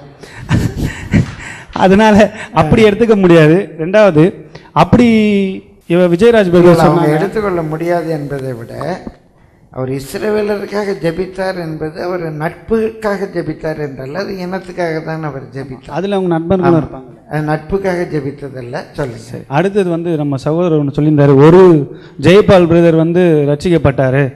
அவர் உடனே அவர் குடும்பத்தில் இருக்கிற பத்து பேரை ரட்சித்தாருன்னு சொன்னாங்க. ஆயிரக்கணக்கான மிஷினரிமார்கள் அவர்களுக்கு சம்பந்தமே இல்லாத உறவுகளா இல்லாத எவ்வளவு கோடி பேர்களை ரட்சித்திருக்கிறாங்க. அப்ப அதெல்லாம் வந்து எப்படி வந்துச்சு? உறவுகள்ன்றதுனால அருமையான ஒரு குறிப்பு. இன்றைக்கு மிஷினரிமாருங்க வந்து இவ்வளவு பேர் ரட்சிக்கப்படுவதற்கு காரணமா இருந்தது. அவங்களுடைய நட்பு ஒரு சிநேகம் தான் இப்போ வந்து நிறைய யார் மூலமாவது வரலாம். ஆனால் அந்த வளர்ச்சி டாபிக் என்ன? ஆவிக்குரிய வளர்ச்சிக்கு பெரிதும் அதுவும் நட்பு உதவாதுன்னு இல்லை பெரிதும் உதவுவது உறவு தான் இப்போ அது வந்து நிறையா பேர் வந்து நிறையா மிஷினரிஸ் பார்த்தீங்கன்னா அவங்க அப்பா அம்மா அவங்கள ரொம்ப பக்தியோடு வளர்த்ததுனால தான் ஒரு ஐடாஸ் கடராக இருக்கட்டும் ஒரு ஏமி கார்மைக்கலாக இருக்கட்டும் அர்சன் டெய்லர் இருக்கு நிறையா பேர் வந்து ஒரு பெரிய லிஸ்ட்டே சொல்லலாம். அவங்க அப்பா அம்மா ஒரு பக்தியான சூழலில் வளர்ந்தவங்க தான் அவ்வளோ பெரிய மிஷினரியாக ஆகி ஆயிரம் ஆயிரங்களை ரட்சிப்புக்குள்ளே கொண்டு வராங்க. ஃப்ரெண்ட்ஸ் மூலமாக பெரிய ஊழியக்காரங்களாக மாறினவங்க யாருமே நமக்கு ரொம்ப தெரியலை.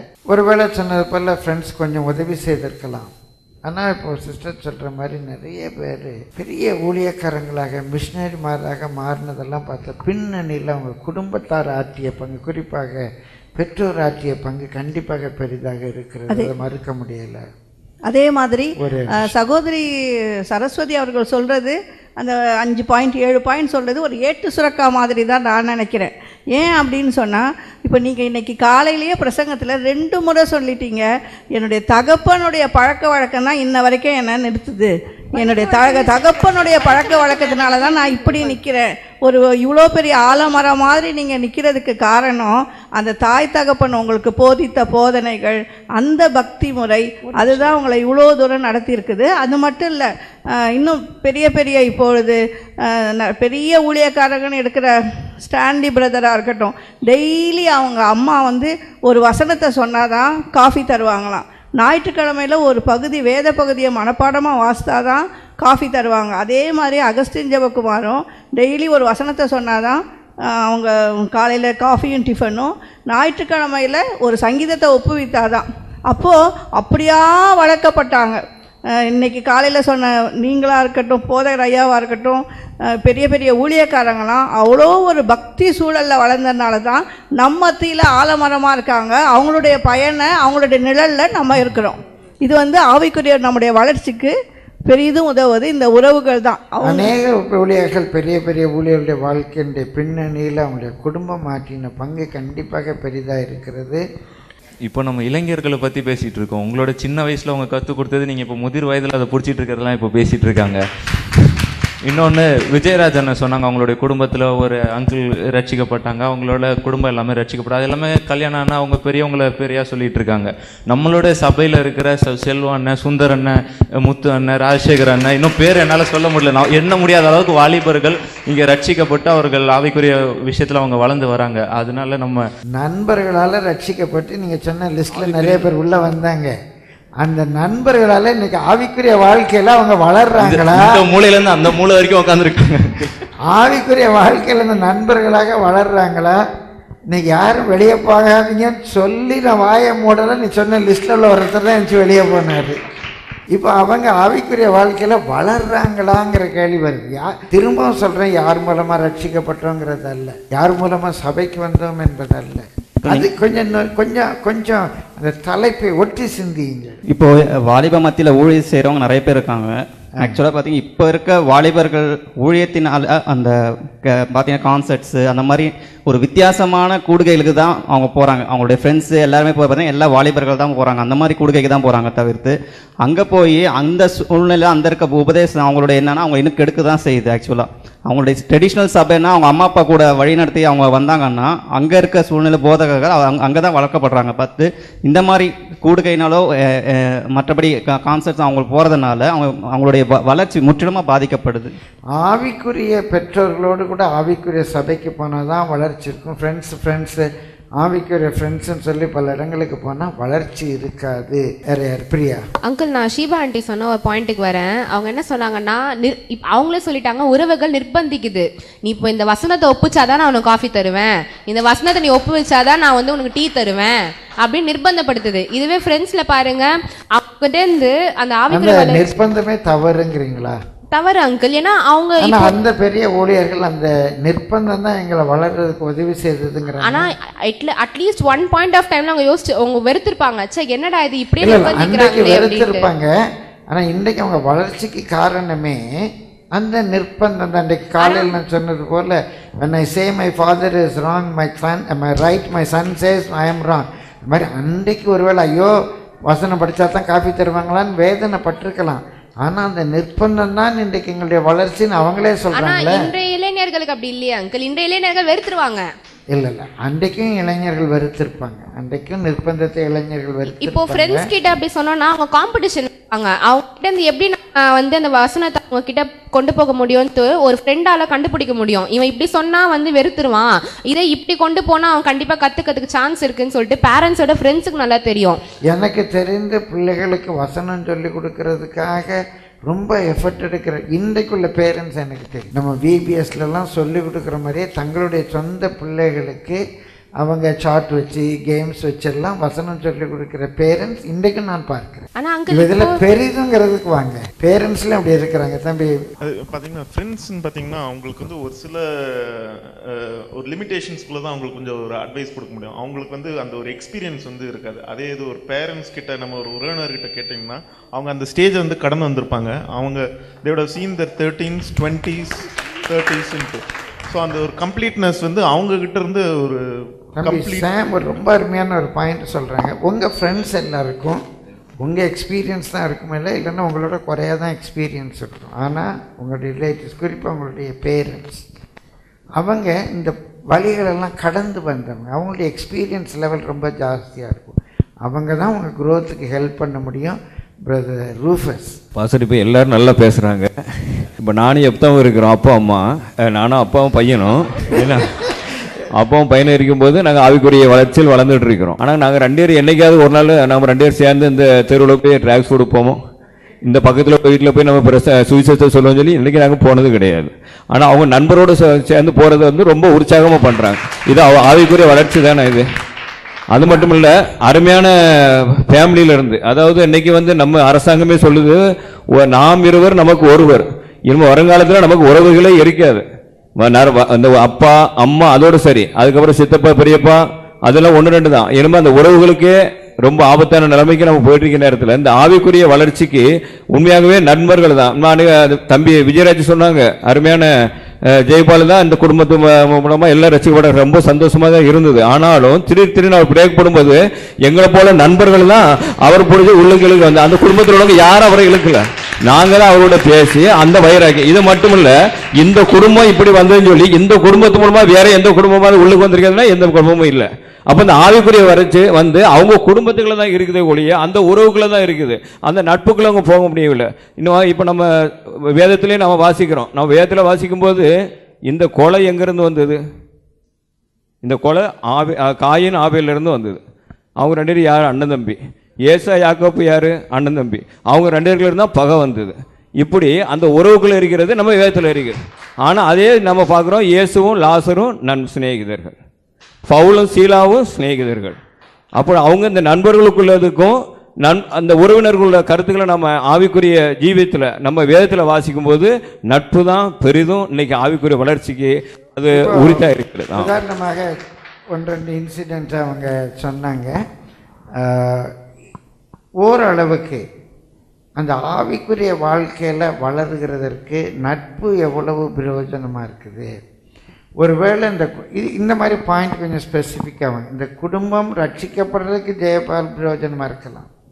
ஆனால் ஜெயபால் ஆவிக்குரிய வாழ்க்கையில் பலப்படுவதற்கு பல முறைகளில் சபையில் உள்ள அவருடைய மற்ற ஃப்ரெண்ட்ஸ் அவர் மேலே இன்ட்ரெஸ்ட் எடுத்து போய் பார்த்து பேசி அவரை உற்சாகப்படுத்தி அவர் ஆவிக்குரிய வாழ்க்கையில் வளருவதற்கு இந்த குடும்பத்துக்கே ரட்சிப்பாக இருந்த அவர் ஆவிக்குரிய வாழ்க்கையில் வளருவதற்கு பெரிதும் நண்பர்கள் சபையில் உள்ள நண்பர்கள் தான் உதவி செய்தாங்கங்கிற point it should be taken in account வளர்றதுக்கு அவரும் நிலை நிற்பதற்கு ஆனால் அவர் இளைஞராங்கிறதுல சேர்க்க முடியலை. இப்போ நம்ம பிரச்சனை இளைஞர்கள். லிடியா பார்த்துட்டோம் விஜயராஜ் அங்கிள் இப்போ அந்த ட்ராக்ஸ் கொடுக்குறாங்க அப்படின்னு சொல்லி சொன்னாங்க. அவங்க என்னைக்கோ ஒரு நாள் ட்ராக்ஸ் கொடுக்குறாங்க. ஆனால் அந்த ட்ராக்ஸ் கொடுக்கறதுக்கு அவங்களுக்கு அந்த வாஞ்சையை ஒவ்வொரு நாளும் ஏற்படுத்திட்டு வரது அவங்க ஃபேமிலி அவங்க ஃபேமிலியாக பண்ணுற அந்த ஃபேமிலி ஃபேமிலி ப்ரேயர் அந்த மற்ற விஷயங்கள் தான் அண்ட் பால் பற்றி அங்கிள் சொன்னார் ஸ்நேகிதன் ஸ்நேகிதன் ஆனால் பால் வந்து ஒவ்வொரு லெட்டர்லேயும் வந்து சகோதரரே சகோதரரே அப்படின்னு தான் அவர் வந்து மென்ஷன் பண்ணியிருக்காரு ஏன்னா பாலுக்கு தெரிஞ்சிருக்கு அங்கே ஒரு சகோதர அன்பு அங்கே சகோதரத்துவம் இருந்தால் தான் வந்து அந்த ஆவிக்குரிய சபை வந்து கட்டப்படும் அப்படின்ட்டு. அந்த சபையில் உள்ள உறவுகளை கூட ஒரு சகோதரத்துவத்தில் தான் பவுல் பார்க்கிறார். சொல்லுங்க. அது என்ன சொல்ல வந்தேன்னா இப்போ எதிரணியில் சொன்ன எல்லா பாயிண்ட்ஸுமே வந்து ஒரு இருபது வருஷத்துக்கு முன்னாடி இருந்த ஒரு அழகான ஒரு கூட்டு குடும்பத்தினுடைய இது. இன்னைக்கு பார்த்தீங்கன்னா நியூக்ளிஸ் அவங்களுக்கு அந்த கிளாஸ் இந்த கிளாஸ் ஸோ பேரண்ட்ஸோட ஸ்பெண்ட் பண்ணுற நேரம் ரொம்ப குறைவு. அப்படிப்பட்ட ஒரு ஃபேமிலிஸ் இருக்குதான்ற ஒரு கேள்வி. ஆனால் இந்த சூழ்நிலையிலையும் அந்த பிள்ளைகளுக்கு சரியான ஒரு நட்பு வட்டாரம் அமைஞ்சதுன்னா அதுதான் வந்து ரொம்ப வந்து ஒரு பலமாக இருக்க முடியும். இது உங்களுடைய கருத்து. எப்படி பெரிதும் நட்பு உதவும்? நட்பு பெரிது எப்படி உதவுங்கிறத நீங்கள் வெளியே கொண்டு வரணும். நம்ம முடிவை நோக்கி நெருங்கி கொண்டிருக்கிறோம். ஒரு குடும்பத்தில் ஒரு இளைஞன் ரட்சிக்கப்பட்டான்னு வச்சுக்குவோம். இவங்க சொன்ன மாதிரியே ரட்சிக்கப்பட்டு வரான். அதுக்கப்புறம் அந்த ஆவிக்குரிய வளர்ச்சிக்கு ஒரு நாள் அந்த குடும்பத்தில் உள்ளவங்க அவங்க அக்கா ஒரு அக்கா சொல்கிறாங்க அப்பா கடைக்கு போயிட்டு வான்னு சொல்லிட்டு. அந்த இளைஞன் கடைக்கு போயிட்டு பொருள் வாங்கிட்டு வராரு. ரெண்டாவது அக்கா சொல்கிறாங்க அப்பா நான் ஒருத்தன் மாட்டினேன்.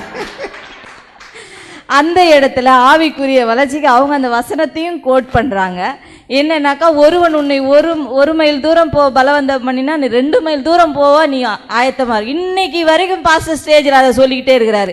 என் உறவு தான் என்னை பலப்படுத்துச்சு என் உறவு தான் அவர் சொன்னது மாத்திரம் இல்லை அது நமக்கும் ஒரு உதாரணமாக இருக்குது நம்மளையும் அது ஆவிக்குரிய இதில் ப பலப்படுத்திட்டு இருக்கு. பெரிதும் உதவுது உறவு தான் அப்படின்னு சொல்லி சொல்லியிருக்கிறார். அது கருத்தையும் நான் ஒரு கருத்து முன்வைக்கிறேன்.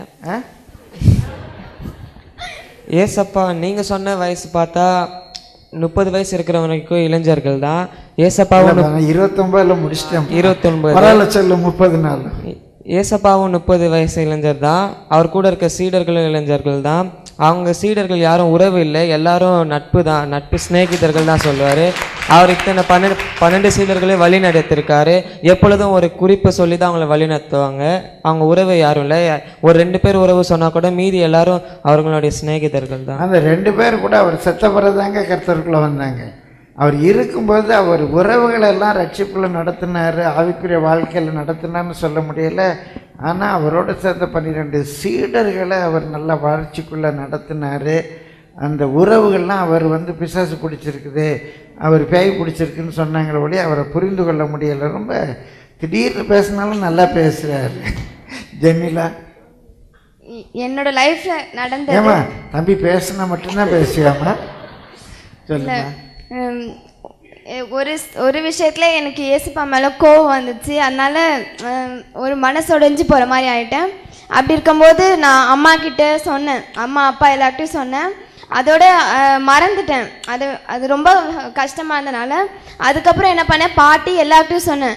உடனே எல்லாரும் எனக்கு அட்வைஸ் பண்ண ஆரம்பிச்சிட்டாங்க. பாட்டிலேருந்து ஏசுப்பா மேலே கோவப்படக்கூடாது. உனக்கு நடக்கும் எல்லாம். பாட்டி முதற்கொண்டு அதே மாதிரி நான் மறந்துட்டேன். நேற்று இந்த டிபேட் ப்ரிப்பேர் பண்ணும்போது அப்பா கூப்பிட்டு ஒன்று படிக்க சொல்கிறாங்க அப்படி படக்கும்போது படிக்கும்போது சொல்கிறாங்க அப்போ வந்து ஏசப்பா வந்து உனக்கு இது செய்யலைன்னா வேற ஏதாவது பர்பஸ் வச்சுருப்பாங்க.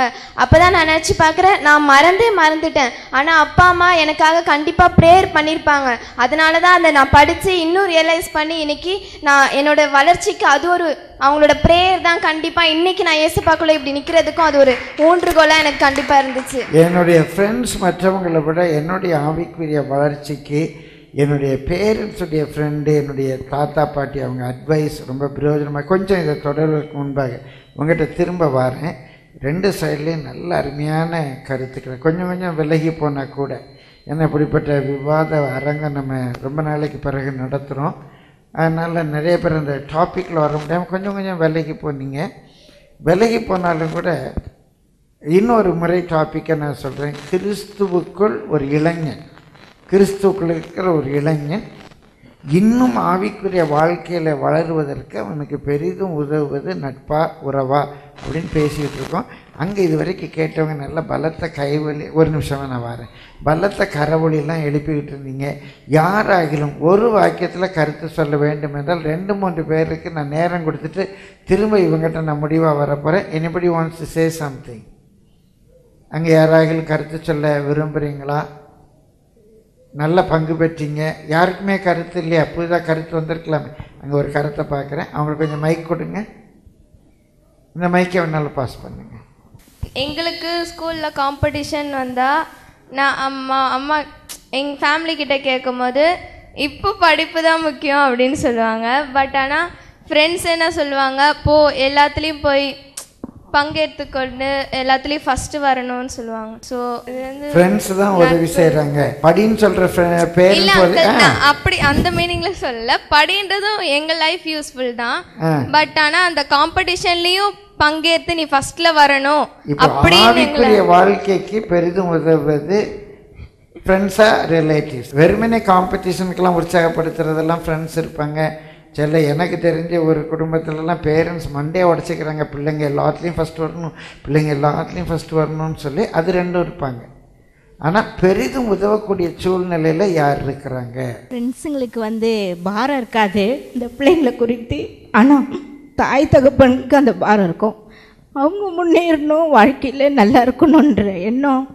பேரண்ட்ஸ் இருக்கும். அதனால் பேரண்ட்ஸுக்கு பிள்ளைகள் ஆவிக்குரிய வாழ்க்கையில் முன்னேறணும்னு பேரண்ட்ஸுக்கு இருக்கிற பாரம்.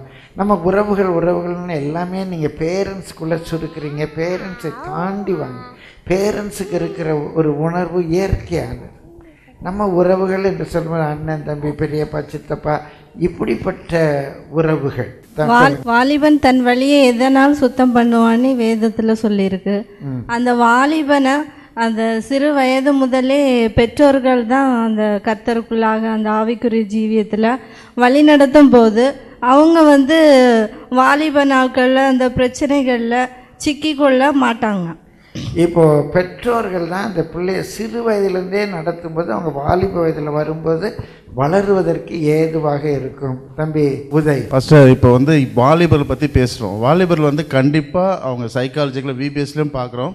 அந்த டீனேஜில் வந்தோடனே அவங்க வந்து தனியாகவே சிந்திக்க ஆரம்பிச்சிருவாங்க. யார் பேச்சும் கேட்க மாட்டாங்க.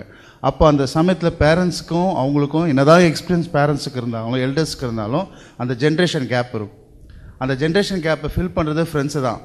சர்ச்சில் கூட பார்த்தீங்கன்னா அவங்க ஃப்ரெண்ட்ஸோட வந்து டீல் பண்ணும்போது தான் அவங்களோட சேர்ந்து வளர்கிறாங்க இது கண்டிப்பாக இது வந்து இவங்க சொன்ன பாயிண்ட்ஸ் எல்லாமே நிறைய வந்து வேல்டாக இருந்தது. வளர்றதுக்கு உண்மையாக நட்பு தான் காரணம். ரிலேட்டிவ்ஸ் எடுத்துக்கிட்டிங்கன்னா அவங்க நிறைய இந்து பேக்ரவுண்டில் இருப்பாங்க கேத்லிக் பேக்ரவுண்டில் இருப்பாங்க சிஎஸ்ஏ பேக்ரவுண்ட் டாக்டரின் வித்தியாசம் ஆகும். அவங்க வேறு வேறு சபைக்கு போவாங்க. இவங்க மேபி இந்து பேக்ரவுண்ட்லேருந்து வந்ததுனால ஈஸியாக சொல்லிடுறாங்க. பட் அவங்க எப்போவுமே நம்ம கூட வந்து ஆவிக்கிற ஜெயத்தில் அந்த டாக்டரின் படி வளர விட மாட்டாங்க ஆனால் ஃப்ரெண்ட்ஸு தான் வந்து ஒன்ஸ் அவங்க போன பாதைக்கு நம்மளுக்கு ஈஸியாக வந்து ரீச் ஆவாங்க. இப்போ. வந்து ஆவிக்குரிய ஃப்ரெண்ட்ஸ் இருக்கிற மாதிரி நமக்கு ஆவிக்குரிய ஃப்ரெண்ட் பேரண்ட்ஸ் இருப்பாங்களான்னா இல்லை ரிலேட்டிவ்ஸ் கசின்ஸ் பெரியப்பா சித்தப்பா யார் நம்ம ஈஸியாக ரீச் பண்ண முடியும்? பேரண்ட்ஸா ஃப்ரெண்ட்ஸா ரெண்டுமே ஸ்பிரிச்சுவலாக எடுத்துக்கோங்க. அப்படி இருக்கும்போது யார் நம்ம எளிதாக ரீச் பண்ண முடியும்? அப்படின்னு சொல்லி நம்ம பார்க்குறோம். இல்லை நம்ம முடிக்கிற நேரத்துக்குள்ள இப்போ என்ன செய்ய போகிறோம் இங்கே இங்கே ஒவ்வொருத்தரும் லாஸ்ட்டாக ஒரு ஸ்டேட்மெண்ட் நீங்கள் சொல்ல போகிறீங்க நம்ம வி ஸ்டார்ட் வித் சிஸ்டர் இவங்களுக்கு மற்ற நேரம் கொடுத்து நம்ம முடிவுக்குள்ளாக வருவோம். சொல்லுங்கள் நீதிமொழிகள் இருபத்தி ஏழு பதினேழு. Iron sharpens iron iron sharpens iron so one man sharpens another இது வந்து இரும்பை இரும்பு கற்கிறது போல நண்பன் வேதத்தின் சத்தியத்தை ஆழமாக அறிந்து கொள்ள உதவுகிறான் என் friend help strengthen your own biblical values நமக்கு ஒரு அப்படிங்கிற நல்ல ஆவிக்குரிய நண்பன் இருப்பான் இரும்பு தான் ஒரு இரும்பை வந்து ஷார்பன் பண்ணுது. அதே போல் ஒரு ஆவிக்குரிய நண்பனால தான் இன்னொருவரை ஷார்பன் பண்ண முடியும் அப்படிங்கிற ஒரு கருத்தை சொல்லியிருக்கிறாங்க. எல்லாருக்கும் ஒரு டைம் கொடுக்க போகிறோம் we are going to start with Staines uncle அவங்க எல்லாருமே வந்துட்டு ஒரு பாஸ்டரை பற்றி பேசினாங்க. அந்த பாஸ்டர் வந்துட்டு ட்ரெயினில் வந்துட்டு அவங்க ஃப்ரெண்டு கூட போனாங்க அப்படின்ட்டு. ஆனால் அந்த ஃப்ரெண்டு கூட போகிறப்ப ஒரு மெசேஜ் கொடுக்கணுன்னா அதுக்கு அவங்க போட்ட ஃபவுண்டேஷன் தான் அங்கிள் அவங்க ஃபேமிலி போட்ட ஃபவுண்டேஷன் தான். யார் எல்லாரும் நம்ம ஈஸியாக போய் வெளில ப்ரீச் பண்ணல எல்லாம் பண்ணலாம் ஆனால் ஃபவுண்டேஷன் நம்மளுக்கு கரெக்டாக இருக்கணும். அதுக்கு நம்ம பேஸ் ரிலேட்டிவ்ஸ் தான் போட்டாங்க. இப்போ நம்ம பேஸை பற்றி இல்லை க்ரோத்தை பற்றி பார்க்குறோம். எத்தா அடுத்தால விஜய் ரெடியாக இருங்க. ஃபேமிலியை தாண்டி. ஃப்ரெண்ட்ஸோட போகும்போது அநேக ஃப்ரெண்ட்ஸ் வந்து நமக்கு கிறிஸ்டியன்ஸ் அதர் ரிலீஜியன் ஃப்ரெண்ட்ஸ் இருப்பாங்க. ஸோ அவங்க எடுக்கிற கேள்விகள் நம்மளை இன்னும் அந்த வேதத்தை ஆராயறதுக்கு அந்த அஹ், வசனத்துக்குள்ளே நம்ம இன்னும் நம்ம ஆராய்ஞ்சு நம்ம கற்றுக்கொள்ள உதவியாக இருக்குது நம்ம சபை வீட்டில் எல்லாருமே கிறிஸ்டியன்ஸ் அப்படிங்கும்போது நம்ம ஜபிக்கணும்னு சொன்னால் முட்டி போட்டு ஜபிச்சிருவோம். ஆனால் ஃப்ரெண்ட்ஸ் அதர் ரிலீஜியன் இருக்கும்போது ஜபோனா என்ன? எதுக்கு நீ பண்ணுற பண்ணால் பதில் கிடைக்குமா? ஸோ அவங்க ஃப்ரெண்ட்ஸ் அதர் ரிலீஜியனாக இருந்தாலுமே அவங்க கேட்குற கேள்விகள் நம்மளை அதில் ஆராய வைக்குது அதை நம்ம அவங்களுக்கு தெளிவு கொடுத்து நம்ம வளர்க்க முடியுது. நம்ம ஃப்ரெண்ட்ஸோடு போகும்போது தான் ரொம்ப இன்ட்ராக்ட் பண்ண முடியுது. அந்த அளவுக்கு நம்ம ஃபேமிலியில் இன்ட்ராக்ட் பண்ண முடியாது. நம்மளை இப்போ நான் என்னை பொறுத்த வரைக்கும் ரட்சிக்கப்பட்டு நம்ம ஆவிக்குள்ளே வளரணும்னா அநேக கஷ்டங்கள் அநேக பாடுகள் மத்தியில் நம்ம வீட்டில் வரும்போது தான் நம்ம வீட்டில் இருக்கிற ஒய்ஃபும் சரி அம்மாவும் சரி அந்த சூழ்நிலையில் நம்மளுக்கு ஒரு ஆறுதல் சொல்லி ஆவிக்குள்ளே இன்னும் நம்ம தளர்ந்து போகாதபடி நம்மளை இன்னும் எழும்பி நிற்கிறபடி ஒரு வார்த்தைகளை சொல்லி நம்மளை ஜெபம் பண்ணவும் வேதம் வாசிக்கவும் நம்மளுக்கு ஒரு என்கரேஜ் பண்ணி இன்னும் நம்ம ஆவிக்குள்ளே வளர்கிறதுக்கு அவங்க தான் முக்கியத்துவமாக இருக்கிறாங்க. என்னை பொறுத்த வரைக்கும் என் குடும்பம் எனக்கு ரொம்ப முக்கியத்துவமாக இருக்குது இது இதுதான் முன் கருத்தை நான் பதிவிக்கிறேன். ஆனால் ஒவ்வொருவருக்கும் அவங்க குடும்பம் தான் முக்கியத்துவமாக இருக்கும். ஆவிக்குள்ளே ஸோ எவ்வளோ பலவீனம் இருந்தாலும் ஆவிக்குள்ளே வளர்கிறதுக்கு குடும்பம் தான் முக்கியத்துவம். ஒரு நல்ல கருத்தை அவருடைய வாழ்க்கையில் சொல்கிறாரு எங்கள் அம்மா எங்கள் மனைவி எங்கள் குடும்பத்தார் தான் நான் ஆவிக்குரிய வாழ்க்கையில் வளர்கிறதுக்கு என்னுடைய ஃப்ரெண்ட்ஸ் இல்லை. என் குடும்பம் தான் எனக்கு முக்கியமாக இருந்தது என்ற ஒரு கருத்தை சொல்கிறார் தம்பி ஜான். நம்மளுக்கு நம்மளுக்கு கொடுத்துருக்க டைட்டிலே ஆவிக்குரிய வளர்ச்சிக்கு நம்ம வீட்டில் டைம் ஸ்பெண்ட் பண்ணுறது ஒரு டென் ஹவர்ஸ்னால் அந்த டென் ஹவர்ஸில் சிக்ஸ் ஹவர் ஸ்லீப் பண்ணிவிட்டு மீதி த்ரீ ஹவர்ஸ் அப் அப்பா அம்மா கூட ஸ்பெண்ட் பண்ணிவிட்டு சாப்பிட்டு வெளியே காலேஜுக்கு போவோம் இல்லை ஸ்கூலுக்கு போவோம். ஸ்கூலில் நம்ம பண்ணுற தப்பு அதெல்லாம் அப்பா அம்மாவுக்கு தெரியாது. என் தெரிஞ்சால் ஒரு நாள் பேரண்ட்ஸ் மீட்டிங்கில் தெரியும் இல்லை நம்மளே போய் சொன்னால் தான் தெரியும். மற்றபடி நம்ம கூட இருக்கிறவங்க நண்பர்களுக்கு மட்டும்தான் நம்ம என்ன செய்கிறோம் தெரியும். இப்போ நான் நான் ஏதாச்சும் ஒரு தப்பு செஞ்சேன்னா என் நண்பனுக்கு தெரியும். அவன் அவன் அப்புறம் சொல்லுவான் நீ இது மாதிரி தப்பு செய்கிறடா நானே நிறைய பேர்கிட்ட சொல்லுவேன் நீ தப்பு செய்கிறடா சார் இது மாதிரி திட்டாதடா அவர் நல்லவருடான்னுவேன். அதே மாதிரி நான் ஏதாச்சும் தப்பு செஞ்சால் அவன் என்கிட்ட சொல்லுவான். அந்த நேரத்தில் எனக்கு அப்பா அம்மாவோ எந்த உறவினரோ எனக்கு வர மாட்டாங்க. எப்போ எப்பயுமே என் கூட இருக்கிறது நண்பர்கள் தான் சரி இனிமேல் சொல்கிறவங்க கொஞ்சம் ஷார்ட் இந்த சொல்லுங்கள் ஒவ்வொரு வாக்கியத்தில் இப்போ என்ன சொல்கிறாரு எனக்கு வீட்டில் நான் ஸ்பெண்ட் பண்ணுற டயத்தோட என் ஃப்ரெண்ட்ஸோட இருக்கிற டைம் தான் ஜாஸ்தி என் ஃப்ரெண்ட்ஸ் தான் என்னை இன்ஃப்ளூயன்ஸ் பண்ண முடியும் அப்படிங்கிறாங்க. அங்கிள் இங்கே நிறையா ஆர்குமெண்ட்ஸ் அரைஸ் ஆனதுக்கு ஒரு ஒரு எடுத்துக்காட்டாக ஒரு இன்சிடெண்ட் மட்டும் நான் டக்குன்னு சொல்லிடுறேன். என் ஃப்ரெண்டோட சர்ச்சில் வந்து அங்கே இருக்க யூத் யூத் பாய்ஸ் அவங்களாம் வந்து ஒன்றா சர்ச்சில் இருந்து இருந்து யூத் ஃபெலோஷிப்பும் பண்ணுவாங்க. அதே மாதிரி ஒன்றா போய் சரக்கடி சரக்கடிப்பாங்க அப்படின்னு சொல்லுவாங்க. அப்போ வந்து அவங்க அம்மா அப்பா எதுவும் கேட்க மாட்டாங்களா அப்படின்னு சொல்லி கேட்டதுக்கு அவங்க அம்மா அப்பாவுக்கு தெரியாது அப்படின்னு சொல்லி சொல்கிறாங்க அப்போது இதுக்கு முன்னாடி வந்த சில ஆர்குமெண்ட்ஸில் வந்து அம்மா அப்பாக்கெலாம் தெரியாது. அம்மா அப்பாக்கிட்ட மறைக்கிறாங்க. அப்போ அந்த அம்மா அப்பாக்கிட்ட மறைக்கிற அளவுக்கு அவங்களுக்கு நான் அந்த நிலமையில வச்சுருக்கதா அவங்க ஃப்ரெண்ட்ஸ் தான். அதனால ஸோ எந்த ஒரு சுச்சுவேஷன் ஆனால் அப்படி இருக்க அப்படி இருக்க பட்சத்துலேயும் அவங்க ஒரு நாளில் அந்த ஒரு ஃபிஃப்டீன் மினிட்ஸ் அவங்க ஃபேமிலி டைம் ஸ்பெண்ட் பண்ணாலும் அந்த ப்ரேயர் டைம் வந்து அந்த ப்ரேயர் டைம் வந்து அவங்க ஃபர்தராக லைஃப்பில் ப்ரொசீட் பண்ணுறதுக்கு அவங்களுக்கு ஹெல்ப்பாக ஹெல்ப்ஃபுல்லாக இருக்குது ஸோ அந்த அவங்க என்னதான் போயிட்டு இருந்தாலும் கடைசியில் they end up in family so family தான் அவங்க ஆவிக்குரிய வளர்ச்சிக்கு பெரிது உதவுதுன்னு சொல்லுவேன் ரேவதி கொஞ்சம் ஷார்ட்டாக கொஞ்சம் ப்ரீஃபாக பதினாறு பேர் சொல்லணும். ரெண்டே ரெண்டு வசனத்தை மட்டும் வாசி முடிக்கிறேன். நான் உங்களுக்கு கற்பிக்கிற யாவையும் நீங்கள் செய்வீர்களானா? என் சிநேகிதராய் இருப்பீர்கள். முப்பத்தி மூணு பதினொன்னுல ஒருவன் தன் சிநேகிதனோட பேசுவது போல் கர்த்தர் மோசையோட முகமுகமாய் பேசினார். ஜெனிலா. எப்படிப்பட்ட ஸ்பிரிச்சுவல் இன்னும் ஸ்பெசிஃபிக்காக ஸ்பிரிச்சுவல் ஃப்ரெண்ட்ஸாக இருந்தாலும் அவங்களுக்குள்ள ஒரு ச ஒரு காலகட்டத்தில் பொறாமைன்றது வரும். அவ சீக்கிரமாக வேலைக்கு போயிட்டா அப்படின்ற ஒரு பொறாமை வரும். ஆனால் வீட்டில் பேரண்ட்ஸ் வந்து என்னதான் இருந்தாலும் அந்த பொறாமை பேரண்ட்ஸ்க்கு வராது. என்னோட பொண்ணு இன்னும் பிளெஸ்ஸிங் ஏசப்பா நிறைய பிளெஸ் பண்ணுறாங்க அப்படின்னு சந்தோஷப்படுவாங்க. அது அது மாதிரி ஃப்ரெண்ட்ஸ்க்கு வந்து அனுபவம் இருக்காது. எல்லாத்துலேயும் தடு தடுமாற்றம் ஏற்படும். அப்பா அம்மா வந்து நிறைய அனுபவிச்சு தான் எல்லாத்தையும் சொல்லுவாங்க. இன்னும் நம்ம ஃப்ரெண்ட்ஸு ரிலேட்டிவ்ஸுங்கிறத பேரண்ட்ஸ் சர்க்கிள்லே முடிக்கிறோம் கசின்ஸ் இருக்காங்க. அங்கிள் ஆண்டிஸ் இருக்கிறாங்க. அந்த சர்க்கிளையும் நினைச்சு சொல்லுங்க. பிரியா. அங்கிள் நான் ஸ்பிரிச்சுவல் growth அப்படின்ற ஒரு டெஃபினேஷன் நான் சொல்லிடுறேன். ஸ்பிரிச்சுவல் growthனா என்னன்னா ஃபர்ஸ்ட் வந்து increasing your knowledge and understanding of God's word decreasing your frequency and severity of sin increasing practice of Christ like qualities increasing your faith and trust in God இந்த நாலு ஸ்டேட்மெண்ட்டுமே நல்லா ஆயத்தம் பண்ணியிருக்கிறீங்க. Spiritual growth ஆவிக்குரிய வளர்ச்சின்னா என்ன? அப்படிங்கிறதுக்கு ஒரு விவரம் சொன்னாங்க. வாசிங்கம்மா நான் தமிழில் சொல்லிடுறேன். Increasing your knowledge and understanding of God's word தேவனுடைய வார்த்தையை குறித்த அறிவை வளர்க்கணும். அதுக்கு யாரும் ஒரு உதவ முடியும். Decreasing your frequency and severity of sin. பாவத்தினுடைய அடிக்கடி செய்கிறதையும் அதனுடைய அகோரத்தையும் குறைக்கணும். அதுதான் ஸ்பிரிச்சுவல் growth. அது யார் செய்ய முடியும்? Increasing practice of Christ like qualities நம்முடைய வாழ்க்கையில் கிறிஸ்துவின் சுபாவத்தை வளர்க்கணும். இதுக்கு யார் பெரிதும் உதவுவா? Increasing your faith and trust in God நம்ம தேவன் மேலே வைக்கிற இந்த நம்பிக்கை விசுவாசத்தை பெருக்கணும். இதுக்கும் யார் பெரிதும் உதவா? சொல்லுங்கம்மா. ஸோ என் பாயிண்ட் ஆஃப் வியூலேருந்து இந்த நாலு ஸ்டேட்மெண்ட்டுமே வந்து ஃபில்ஃபில் ஃபுல்ஃபில் பண்ணுறது வந்து ஃப்ரெண்ட்ஸ் தான் அங்கிள் இந்த நான்குக்கும் உதவுவது பெரிதும் பிரியாவை. இப்போ பெரிதும் உதவுவது ஃப்ரெண்ட்ஸ் தான். Uh, தம்பி ஜேம்ஸ் அங்கிள் ஃப்ரெண்ட்ஷிப் வந்து பார்த்திங்கன்னா ஒரு டெம்பரரி தான். அது ஒரு ஸ்டேஜ் டு ஸ்டேஜ் மாறுது. அதே போல் பார்த்தீங்கன்னா ஃப்ரெண்ட்ஷிப் வந்து எளிமையாக ஈஸியாக மாறிடுவாங்க. ஆனால் ஃப்ரெண்ட்ஷிப் வந்து எப்போ வேணால் எளிமையாக மாற வாய்ப்பு இருக்குது அது வந்து ஒரு ஸ்டாண்டர்ட் கிடையாது. நம்ம ரிலே என்னோட ரிலேட்டிவ்ஸ் உறவு வந்து இனிமேல் மாற வாய்ப்பில்லை. மாறினாலும் அது மறுபடியும் அது ஒன்று சேர்ந்து இருக்குவாங்க. அவங்க தான் வழி நடத்துவாங்க ஃப்ரெண்ட்ஸ் வந்து தங்களுடைய சொல்கிறத பார்த்தீங்கன்னா உங்களுக்காக தன்னுடைய ஃப்ரெண்டுக்காக வாழ்க்கையை கொடுக்குறேன்னுவாங்க.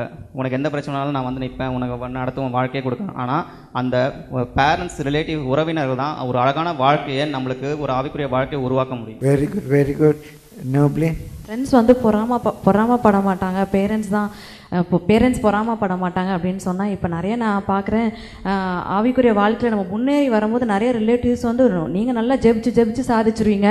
உங்கள் பிள்ளை நல்லா ஜெபிக்கும். உங்கள் பிள்ளை கரெக்ட் அப்படிலாம் நிறைய பேர் பேச ரிலேட்டிவ்ஸே பேசுகிறத நான் பார்த்துருக்குறேன். ஃப்ரெண்ட்ஸோட ரிலேட்டிவ்ஸ் அதிகமாக பொறாமைப்படுவாங்க. பொறாமைப்படுறாங்க. ஒரு இடத்துல ஒரு சண்டே ஸ்கூல் இது எடுத்துகிட்டு இருக்கும்போது என்ன? பேசிகிட்டே இருக்க. அப்படின்னு சொல்கிறாங்க ஸோ ரிலேட்டிவ்ஸ் வந்து நிறைய அவங்க பிள்ளை நல்லா ஜெபிக்குது நல்லா சாதிக்கிறாங்க ஜெபிச்சு நம்ம பிள்ளை ஜெபிக்க மாட்டேங்குது அப்படின்னு பொறாமப்படுறாங்க. சிஸ்டர் சரஸ்வதி இதை ஒரு சென்டென்ஸ் இது டிரான்ஸ்ஃபார்ம் ஆகிறதுக்கும் சாங்டிஃபை ஆகிறதுக்கும் உதவி செய்வது பெரி பெரிதும் உதவி செய்கிறது நண்பனே. எல்லா அவங்களுடைய கஷ்டமான சூழ்நிலைகள் அவங்களுடைய சுச்சுவேஷன் எப்படிப்பட்டதாக இருந்தாலும் அவனுடைய இருதயத்தை புரிந்து கொள்ளுறது நண்பன் மட்டும் தான் புரிந்து கொள்ள முடிகிறது. நண்பனால மாத்திரம்தான் ஒரு நண்பனுடைய இருதயத்தை புரிந்து கொள்ள முடியும் அப்படிங்கிற கருத்தை சொல்றேன் சாம். கண்டினியூவாக வளர்றது வந்து இந்த ஃபேமிலி தான் வந்து எப்பவுமே உறுதுணையாக இருக்கிறாங்க. ஃப்ரெண்ட்ஸ்னு பார்த்தீங்கன்னா அவங்க வந்து ஒரு கொஞ்ச நேரம் தான் அவங்களோட ஸ்பெண்ட் பண்ணாங்க. அந்த best part of the life வந்து பார்த்தீங்கன்னா அந்த ஃபேமிலி இருக்கும். அந்த அவங்களோட அக்கறை எல்லாமே வந்து ப்ரேயர் அந்த வளர்ச்சி அந்த ஒரு ஃபேமிலி ஆல்டர் அந்த இதெல்லாம் தான் ஒரு மனுஷனை வந்து நல்ல வழியில் ஒரு கண்டினியூவிட்டி ஃப்ரெண்ட்ஷிப்பில் இருக்காது அப்படிங்கிறாங்க. பட் நம்ம வந்து இப்போ ஒரு ஷார்ட்டர் பீரியடை தான் பார்க்குறோம். ஒரு தேர்ட்டீன் டு டுவெண்ட்டி நைன் அந்த பீரியடுக்குள்ளே தான் நம்ம பார்க்குறோம். ஒருவேளை அந்த பீரியடுக்குள்ளே அந்த ஃப்ரெண்ட்ஷிப் வந்து ஒரு சஸ்டெயின் ஃப்ரெண்ட்ஷிப்பாக இருக்கும். அப்படின்னு நான் நினைக்கிறேன். தம்பி யுவராஜ். ஐயா எப்படினாலும் வந்து பார்த்தீங்கன்னா ஒரு நல்ல நட்புணர்வுடன் இருக்கிற ஒரு ரிலேஷன்ஷிப் மட்டும்தான் இந்த வாவிக்குரிய ஜீவியத்துக்கு வளர்ச்சி பண்ண முடியும். அது பேரண்ட்டாக இருக்கலாம் இல்லை வாட் எவர் யாரானா இருக்கலாம். இப்போது ஒரு ஒ- ஒரு எத்தனை பேரண்ட்டுக்கு வந்து நட்புணர்வுன்னு கூறிய அந்த பிள்ளைங்களை நடத்துகிறாங்க அப்படின்றது கேள்விக்குறியாக தான் இருக்குது இந்த சுச்சுவேஷனில் மற்ற குடும்பத்திலேருந்து ஒருத்தவங்க ரசிக்கப்பட்டாங்கன்னா அவங்கள எதிர்ப்பார்கள் உறவுகள். ஆனால் நண்பன் வந்து என்ன பண்ணுவான்னா சரி ஆயிட்டியா? சரி விடு. நீ இப்போ உன் வழியில் பாரு நான் அந்த ஒரு ஒரு ஒரு தோல் கொடுப்பாங்க. உறவுகள் சில நேரத்தில் எதிர்ப்பார்கள் ஆனால் வந்து இங்கே தோல் கொடுப்பாங்க. உறவுகள் உறவுகள்கிட்ட எதிர்பார்ப்பு அதிகமாக இருக்கும். நண்பர்கள் தான் நமக்கு தோல் கொடுப்பார்கள் சிஸ்டர் பானுமதி. தொப்புள் கொடி உறவும் தோல் மீது சுமந்த உறவும் தட்டி கொடுத்த உறவும் சொல்லி கொடுக்காததையா உங்கள் நட்பு வட்டாரங்கள் சொல்லி கொடுத்து விட போகிறது. உங்களுடைய ஆவிக்குரிய வளர்ச்சிக்கு அவர்களா பெரிதும் உதவுவார்கள். சற்றே சிந்தித்து பாருங்கள். பாஸ்டர் என்னுடைய பிள்ளைகளாகட்டும் என்னுடைய மைத்துனருடைய பிள்ளைகளாகட்டும் என்னுடைய அண்ணன் பிள்ளைகள் இப்படி நம்மளுடைய உறவு வட்டாரங்கள் நம்ம ஜபோன்னு எடுத்துக்கிட்டா பாருங்க முதல்ல முதல்ல நம்ம பிள்ளைகளுக்காக ஜெயிப்போம் அடுத்து ஆட்டோமேட்டிக்காக நம்மளுடைய உறவுக்கார பிள்ளைகள் அந்த சுற்று வட்டாரங்கள் தான் ஞாபகத்தில் வரும். ரெண்டாவது அவங்கள கீன் அப்சர்வேஷன் பண்ணுறது ஃப்ரெண்ட்ஸை விட உறவுகள் தான். பெற்றோர்களும் இருக்கிறாங்க உறவுகளும் இருக்கிறாங்க. அப்பா அம்மாவாகட்டும் சித்தப்பா சித்தி பெரியப்பா உறவுகளாகட்டும் என் பையன் இப்படி நடக்கிறான் என் பிள்ளை ஏன் ச கொஞ்சம் மாறுதலாக இருந்தாலும் அவங்க மேலே அக்கறையாக அந்த ஒரு கீன் அப்சர்வேஷன் அந்த பேரண்ட்ஸ் மாத்திரம் அந்த உறவுகள் மாத்திரம்தான் செய்ய முடியும். உறவுகள் மாத்திரம்தான் அக்கறையோடு ஒருத்தருடைய வளர்ச்சிக்காக ஒருத்தர் ஜெபிக்க ஆலோசனை சொல்ல முடியும். அப்படி ஃப்ரெண்ட்ஸ் சர்க்கிளில் ஒரு ஜெபம் ஆலோசனை இருப்பது குறைவு என்று சொல்லுகிறார்கள். தம்பி ரூஃபஸ் லூக்கா பத்து இருபத்தி ஏழு உன் தேவனாகிய கர்த்தரிடத்தில் உன் முழு இருதயத்தோடும் உன் முழு ஆத்மாவோடும் உன் முழு பலத்தோடும் உன் முழு சிந்தையோடும் அன்பு கூர்ந்து உன்னிடத்தில் அன்பு கூறுவது போல பிறனிடத்திலும் அன்பு கூறுவாயாக என்று எழுதியிருக்கிறது. நீதிமொழிகள் பதினெட்டு இருபத்தி நான்கு. சிநேகிதர் உள்ளவன் சிநேகம் பாராட்ட வேண்டும். சகோதரனிலும் அதிக தொந்தமாய் சிநேகிப்பவனும் உண்டு. நம்முடைய ஜபத்திலையும் சரி ஆவிக்குரிய வாழ்க்கையிலும் சரி நம்ம சுயநலத்துக்காக வாழாம பிறருக்காக வாழ்வதுதான் ஆவிக்குரிய வளர்ச்சிக்கு முன்னுதாரணம். நம்ம குடும்பத்தில் நம்ம புள்ள நல்லா இருக்கணும் நம்ம பொண்டாட்டி நல்லா இருக்கணும் நம்ம சொந்த பந்தங்கள் நல்லா இருக்கணும் சொல்றதை விட மற்றவங்க நல்லா இருக்கணும் மற்றவங்க ரசிக்கப்படணும்னு சொல்லி அந்த சிந்தையோடு நம்ம டாபிக் நட்பு. வந்து நட்பு நட்பு அதாவது நண்பர்கள். நண்பர்கள். நண்பர்கள் அவர்கள் ரசிக்கப்பட வேண்டும். நம்முடைய எடுத்துக்காட்டாக யோபனுடைய நண்பர்களை நான் அதை சுட்டி காட்டுகிறேன் நல்ல எடுத்துக்காட்டு சொன்னீங்கப்பா. சிஸ்டர் ஷீபா. ஸ்பெசிஃபிக்காக சொல்லணுன்னா ஒரு பாட்டி ரூபி பாட்டியும் ஒரு ஸ்வீட்டி பெரியமாவும் தான் ஒரு கெசியாவும் லிடியாவும் இவ்வளோ தூரமாவது ஆவிக்குரிய வாழ்க்கையில் வளர்கிறதுக்கும் சாம சாமியமில் அந்த லலிதா பாட்டியோட இதுவும் ஸ்டெயின் சாரா அவங்கெல்லாம் ஒரு பாட்டி அந்த பெரியம்மா அத்தை அவங்க கொடுத்த ஒரு ஆவிக்குரிய வளர்ச்சிக்கு காரணம். இப்போ பார்த்தா ஆவிக்குரிய வளர்ச்சி இன்றைய சூழ்நிலையில் இளைஞர்களுக்கு அவங்கவுங்க அது பெண் வட்டாரமாக இருக்கட்டும் செல்ஃபி எடுக்கவும் டிபி மாற்றவும் ஸ்டேட்டஸ் பற்றி பேசவும் தான் அவங்களுக்கு நேரம் சரியாக இருக்கே தவிர ஒன்றா சேர்ந்து ஜெபிக்கலாமா சேர்ந்து இது பண்ணலாமா வேறு வேறு ஏதாவது ஆவிக்குரிய காரியங்கள் செய்யலாமான்னு பெண்கள் வட்டாரத்திலே கேர்ள்ஸ் வட்டாரத்திலே இல்லாத போது ஆண்கள் பற்றி சொல்லவே தேவையில்லை. இப்போ பட்டிமன்றம் ஆண்களா பெண்களா இல்லை? ரொம்ப அருமையான கருத்துக்களை சொன்னாங்க. நம்முடைய ஆவிக்குரிய வளர்ச்சிக்கு இளைஞருடைய ஆவிக்குரிய வளர்ச்சிக்கு பெரிதும் உதவுவது உறவா நட்பா? நேற்று கொஞ்சம் நானும் நீங்களாம் ரொம்ப நல்லா ப்ரிப்பேர் பண்ணியிருக்கீங்க ரொம்ப மகிழ்ச்சி. நானும் கொஞ்சம் ஆயத்தம் பண்ணேன். இந்த ஃப்ரெண்ட்ஸை பற்றி கொஞ்சம் கூடுதலாக பார்த்தேன். ஏன்னா உறவுகள் என்பது ரொம்ப எக்ஸ்டெண்டடாக இருந்துச்சு. இந்த ஃப்ரெண்ட் ஃப்ரெண்ட்ஸ் என்பது ஆங்கில வேதாகமத்தின்படி கிட்டத்தட்ட நூற்றி ரெண்டு தடவை வருகிறது. அதில் இருபத்தி ஏழு தடவை. இந்த ஃப்ரெண்ட்ஸ் அப்படிங்கிறது இருபத்தேழு தடவை காஸ்பல்ஸில் மட்டும் வருது. ஏறத்தாழ நான்கில் ஒன்றை விட அதிகமாக நான்கில் ஒன்றை விட அதிகமாக ஃப்ரெண்ட்ஸை பற்றி இயேசு தான் பேசியிருக்கேன் மற்ற தீர்க்கதரிசிகள் வேத புருஷர்கள் பேசினதோட ஃப்ரெண்ட்ஸ் ஃப்ரெண்ட்ஸ் ஃப்ரெண்ட்ஸ்னு அதிகமாக வேதத்தில் பேசினது நூற்றி ரெண்டில் இருபத்தேழு தடவை காஸ்பலில் வருது. இது போக இருபது தடவை நீதிமொழிகளிலும் பதினோரு தடவை யோபிலேயும் வருகிறது. பிரியமானவர்களே ஒரு இருபத்தி ஏழு இருபது நாற்பத்தி ஏழு ஐம்பத்தி எட்டு முறை இந்த மூன்று புத்தகங்களிலும் வருகிறது. மீறி ஒரு ஐம்பது முறை ஐம்பதுக்கும் குறைவாக ஒரு நாற்பது சொச்சம் முறை தான் மீதி அறுபது புத்தகத்திலே வருகிறது. அதில் ஃப்ரெண்ட்ஸை பற்றி அதிகமாக பேசினது இயேசு கிறிஸ்து தான். அப்போ அதில் ஒரு முக்கியமான காரியத்தை நாம் கவனிக்க வேண்டியதாக இருக்கிறது. மோசை தேவனோடு முகமுகமாய் ஒரு சிநேகிதன் தன் சிநேகிதனோடு பேசுவது போல பேசினான் என்று சொன்னார்கள். அதே போல் லாசர்வை பற்றி சொன்னீர்கள். லாசரை பற்றி இயேசு சொல்லும்போது தன்னுடைய சீடர்களையும் சேர்த்து சொல்லுவார். யோவான் பதினொன்று பதினொன்றில் நம்ம ஃப்ரெண்டு அவர் ஃப்ரெண்டு நம்ம ஃப்ரெண்டு லேசர் நித்திரையாக இருக்கிறான். நம்ம ஃப்ரெண்டுனே சொல்லுவார். பிரியமானவர்களே யோவான் பதினைந்தாம் அதிகாரத்தில் இயேசு சொல்கிறாரு நான் உங்களை ஃப்ரெண்ட்ஸுன்னு அழைக்கிறேன். நான் உங்களை ஃப்ரெண்ட்ஸுன்னு சொல்கிறேன் நான் உங்களை பிரதர்ஸ்ன்னு சொல்கிறேன் கசின்ஸ் சொல்கிறேன் என்றல்ல. நான் உங்களை ஃப்ரெண்ட்ஸுன்னு சொல்கிறேன் அப்படின்னு யோவான் பதினைந்தில் அவர் சொல்லுகிறார். பிரியமானவர்களே இப்படி பல இடங்களில் நம்ம பார்க்குறோம். ஆபிரகாமே தேவன் ஃப்ரெண்டு என்று சொல்லுவதே அவனுக்கு நீதியாக எண்ணப்பட்டது. எல்லாருக்கும் அவர் தகப்பன் தான். நீங்கள் கவனித்திருப்பீர்கள் அதை யாராவது சொல்லுவீங்கன்னு பார்த்தேன். யாக்கோபில் அவர் சொல்கிறாரு ஆபிரகாம் தேவனை விசுவாசித்தான் அது அவனுக்கு நீதியாக எண்ணப்பட்டது என்கிற வேத வாக்கியம் நிறைவேறிற்று. எப்படி? அவன் தேவனுடைய சிநேகிதன் எனப்பட்டான்.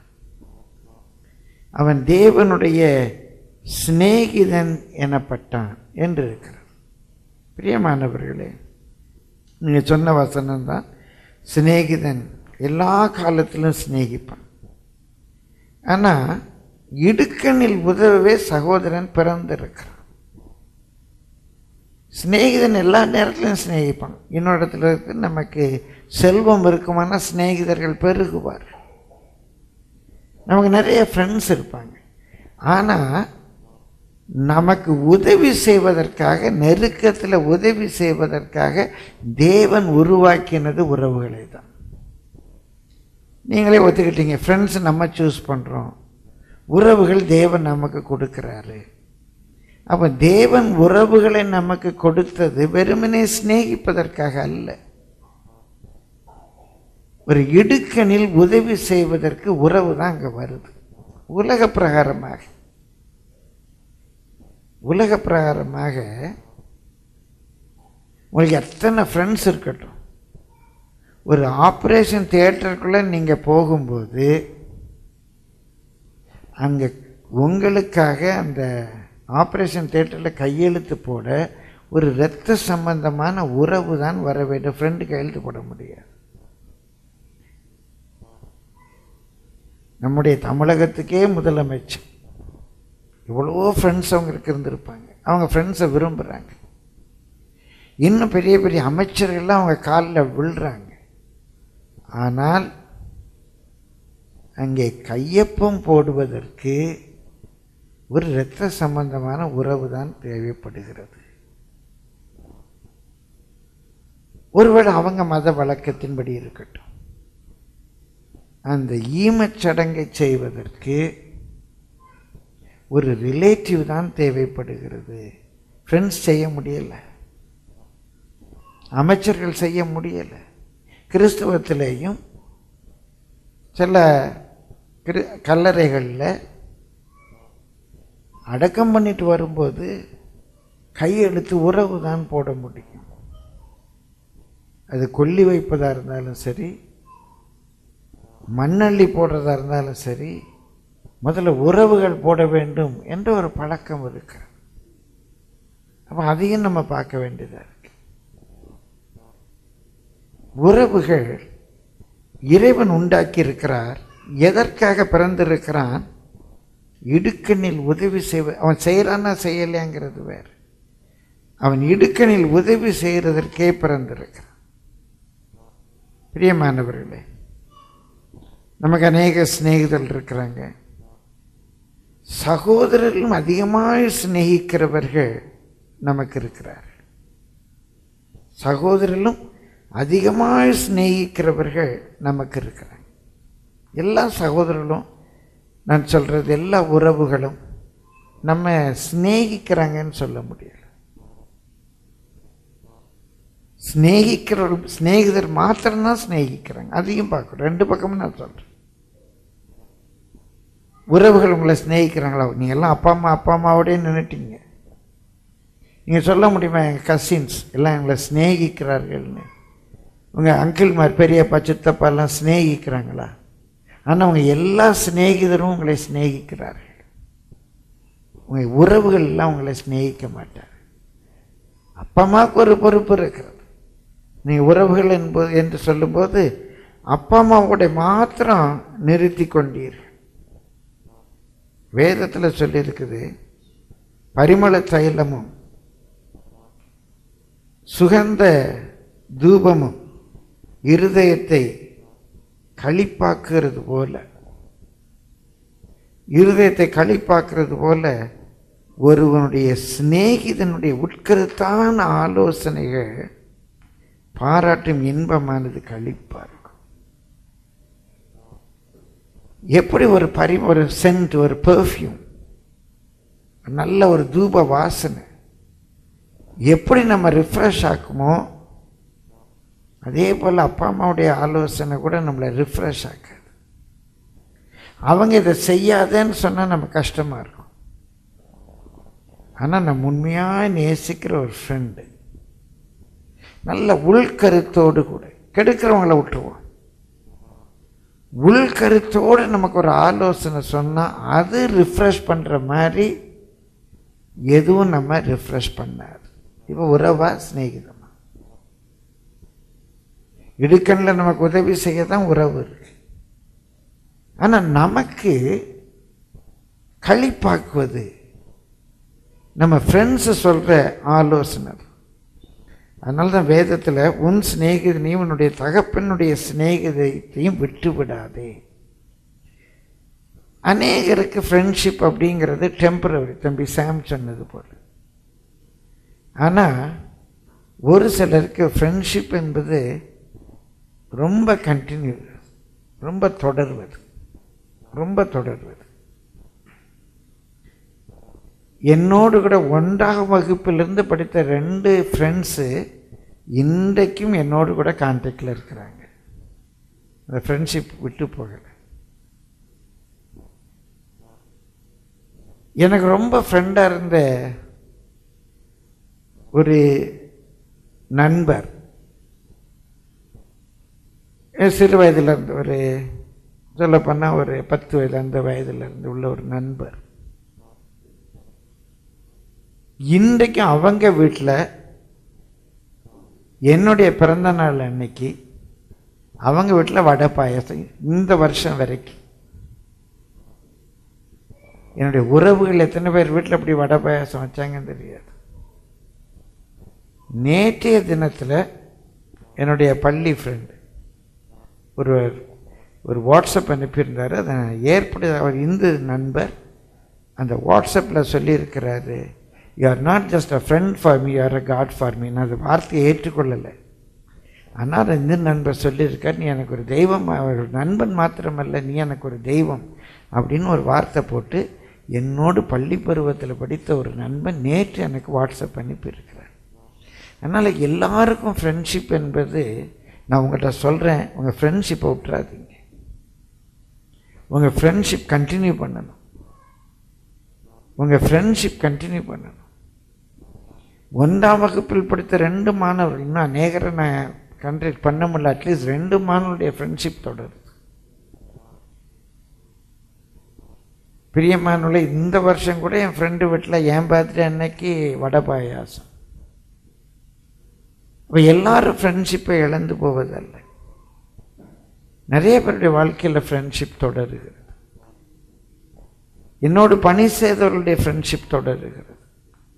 ஏன் சொன்ன என் வேதம் சொல்லுகிறது உன் சிநேகிதரையும் உன் தகப்பனுடைய சிநேகிதரையும் விட்டு விலகாதே. எங்கள் அப்பா ஃப்ரெண்ட்ஷிப் யாரும் இல்லை. ஆனால் உங்களுடைய அப்பாவுடைய ஃப்ரெண்ட்ஸையும் நீங்கள் சேர்த்துக்கோங்க. உன் ஆபத்து காலத்தில் உன் சகோதரனுடைய வீட்டிற்கு போகாதே. தூரத்தில் உள்ள உன் சகோதரனிலும் சமீபத்தில் உள்ள அயல் ஃப்ரெண்டே உனக்கு வாசி உனக்கு பிரயோஜனம். வேதம் தெளிவாக சொல்லுது. ஃப்ரெண்டை விட்டுறாரு. இவ பெரிதும் உதவுவது யார்? பெரிதும் உதவுவது யார்? பிரியமானவர்களே ஒரு வேத பகுதி உங்களுக்கு வாசித்து காட்டுகிறேன். பிரசங்கமாக எல்லாருக்கும் பிரயோஜனமாக. உபாகமம் பதிமூன்றாம் அதிகாரம் எட்டு ஆறு ஏழு எட்டு ஒன்பது நான்கு வசனங்களை வாசிக்கிறேன். உன் தாய்க்கு பிறந்த உன் சகோதரனாகிலும் உன் குமாரனாகிலும் உன் குமாரத்தியாகிலும் உன் மார்பில் உள்ள உன் மனைவியாகிலும் உன் பிராணனைப் போல் இருக்கிற உன் சிநேகிதனாகிலும் யாருனாலும் சரிங்க. ஃப்ரெண்ட்ஸ்னாலும் ரிலேட்டிவ்ஸ்னாலும் உன் பிரதர் சிஸ்டர் உன் ஒய்ஃபு யாரானாலும் சரி. உன் உயிருக்கு உயிரான சிநேகிதனானாலும் சரி நல்லா கவனிங்க.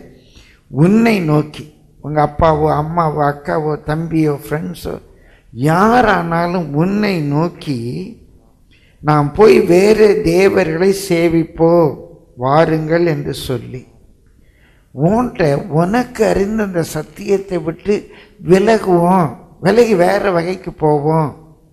வேறு கான்சர்ட்டுக்கு போவோம். இதெல்லாம் ஜாலியாக இருக்கும்.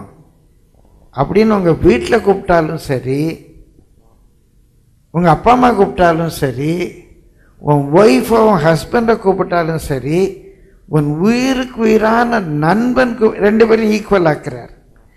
நண்பன் கூப்பிட்டாலும் சரி அவங்களோடு கூட போகாமல் உங்களை சுற்றிலும் உனக்கு சமீபத்திலும் உனக்கு தூரத்தில் ஆகிலும் தேசத்தின் ஒருமுனை தொடங்கி மறுமுனை மட்டுமுள்ள எவ்விடத்திலாயிலும் இருக்கிற ஜனங்களுடைய தேவர்களில் நீயும் உன் பிதாக்களும் அறியாத அந்நிய தேவர்களை சேவிக்கும்படி ரகசியமாய் உன்னை ஏவி விட்டாள்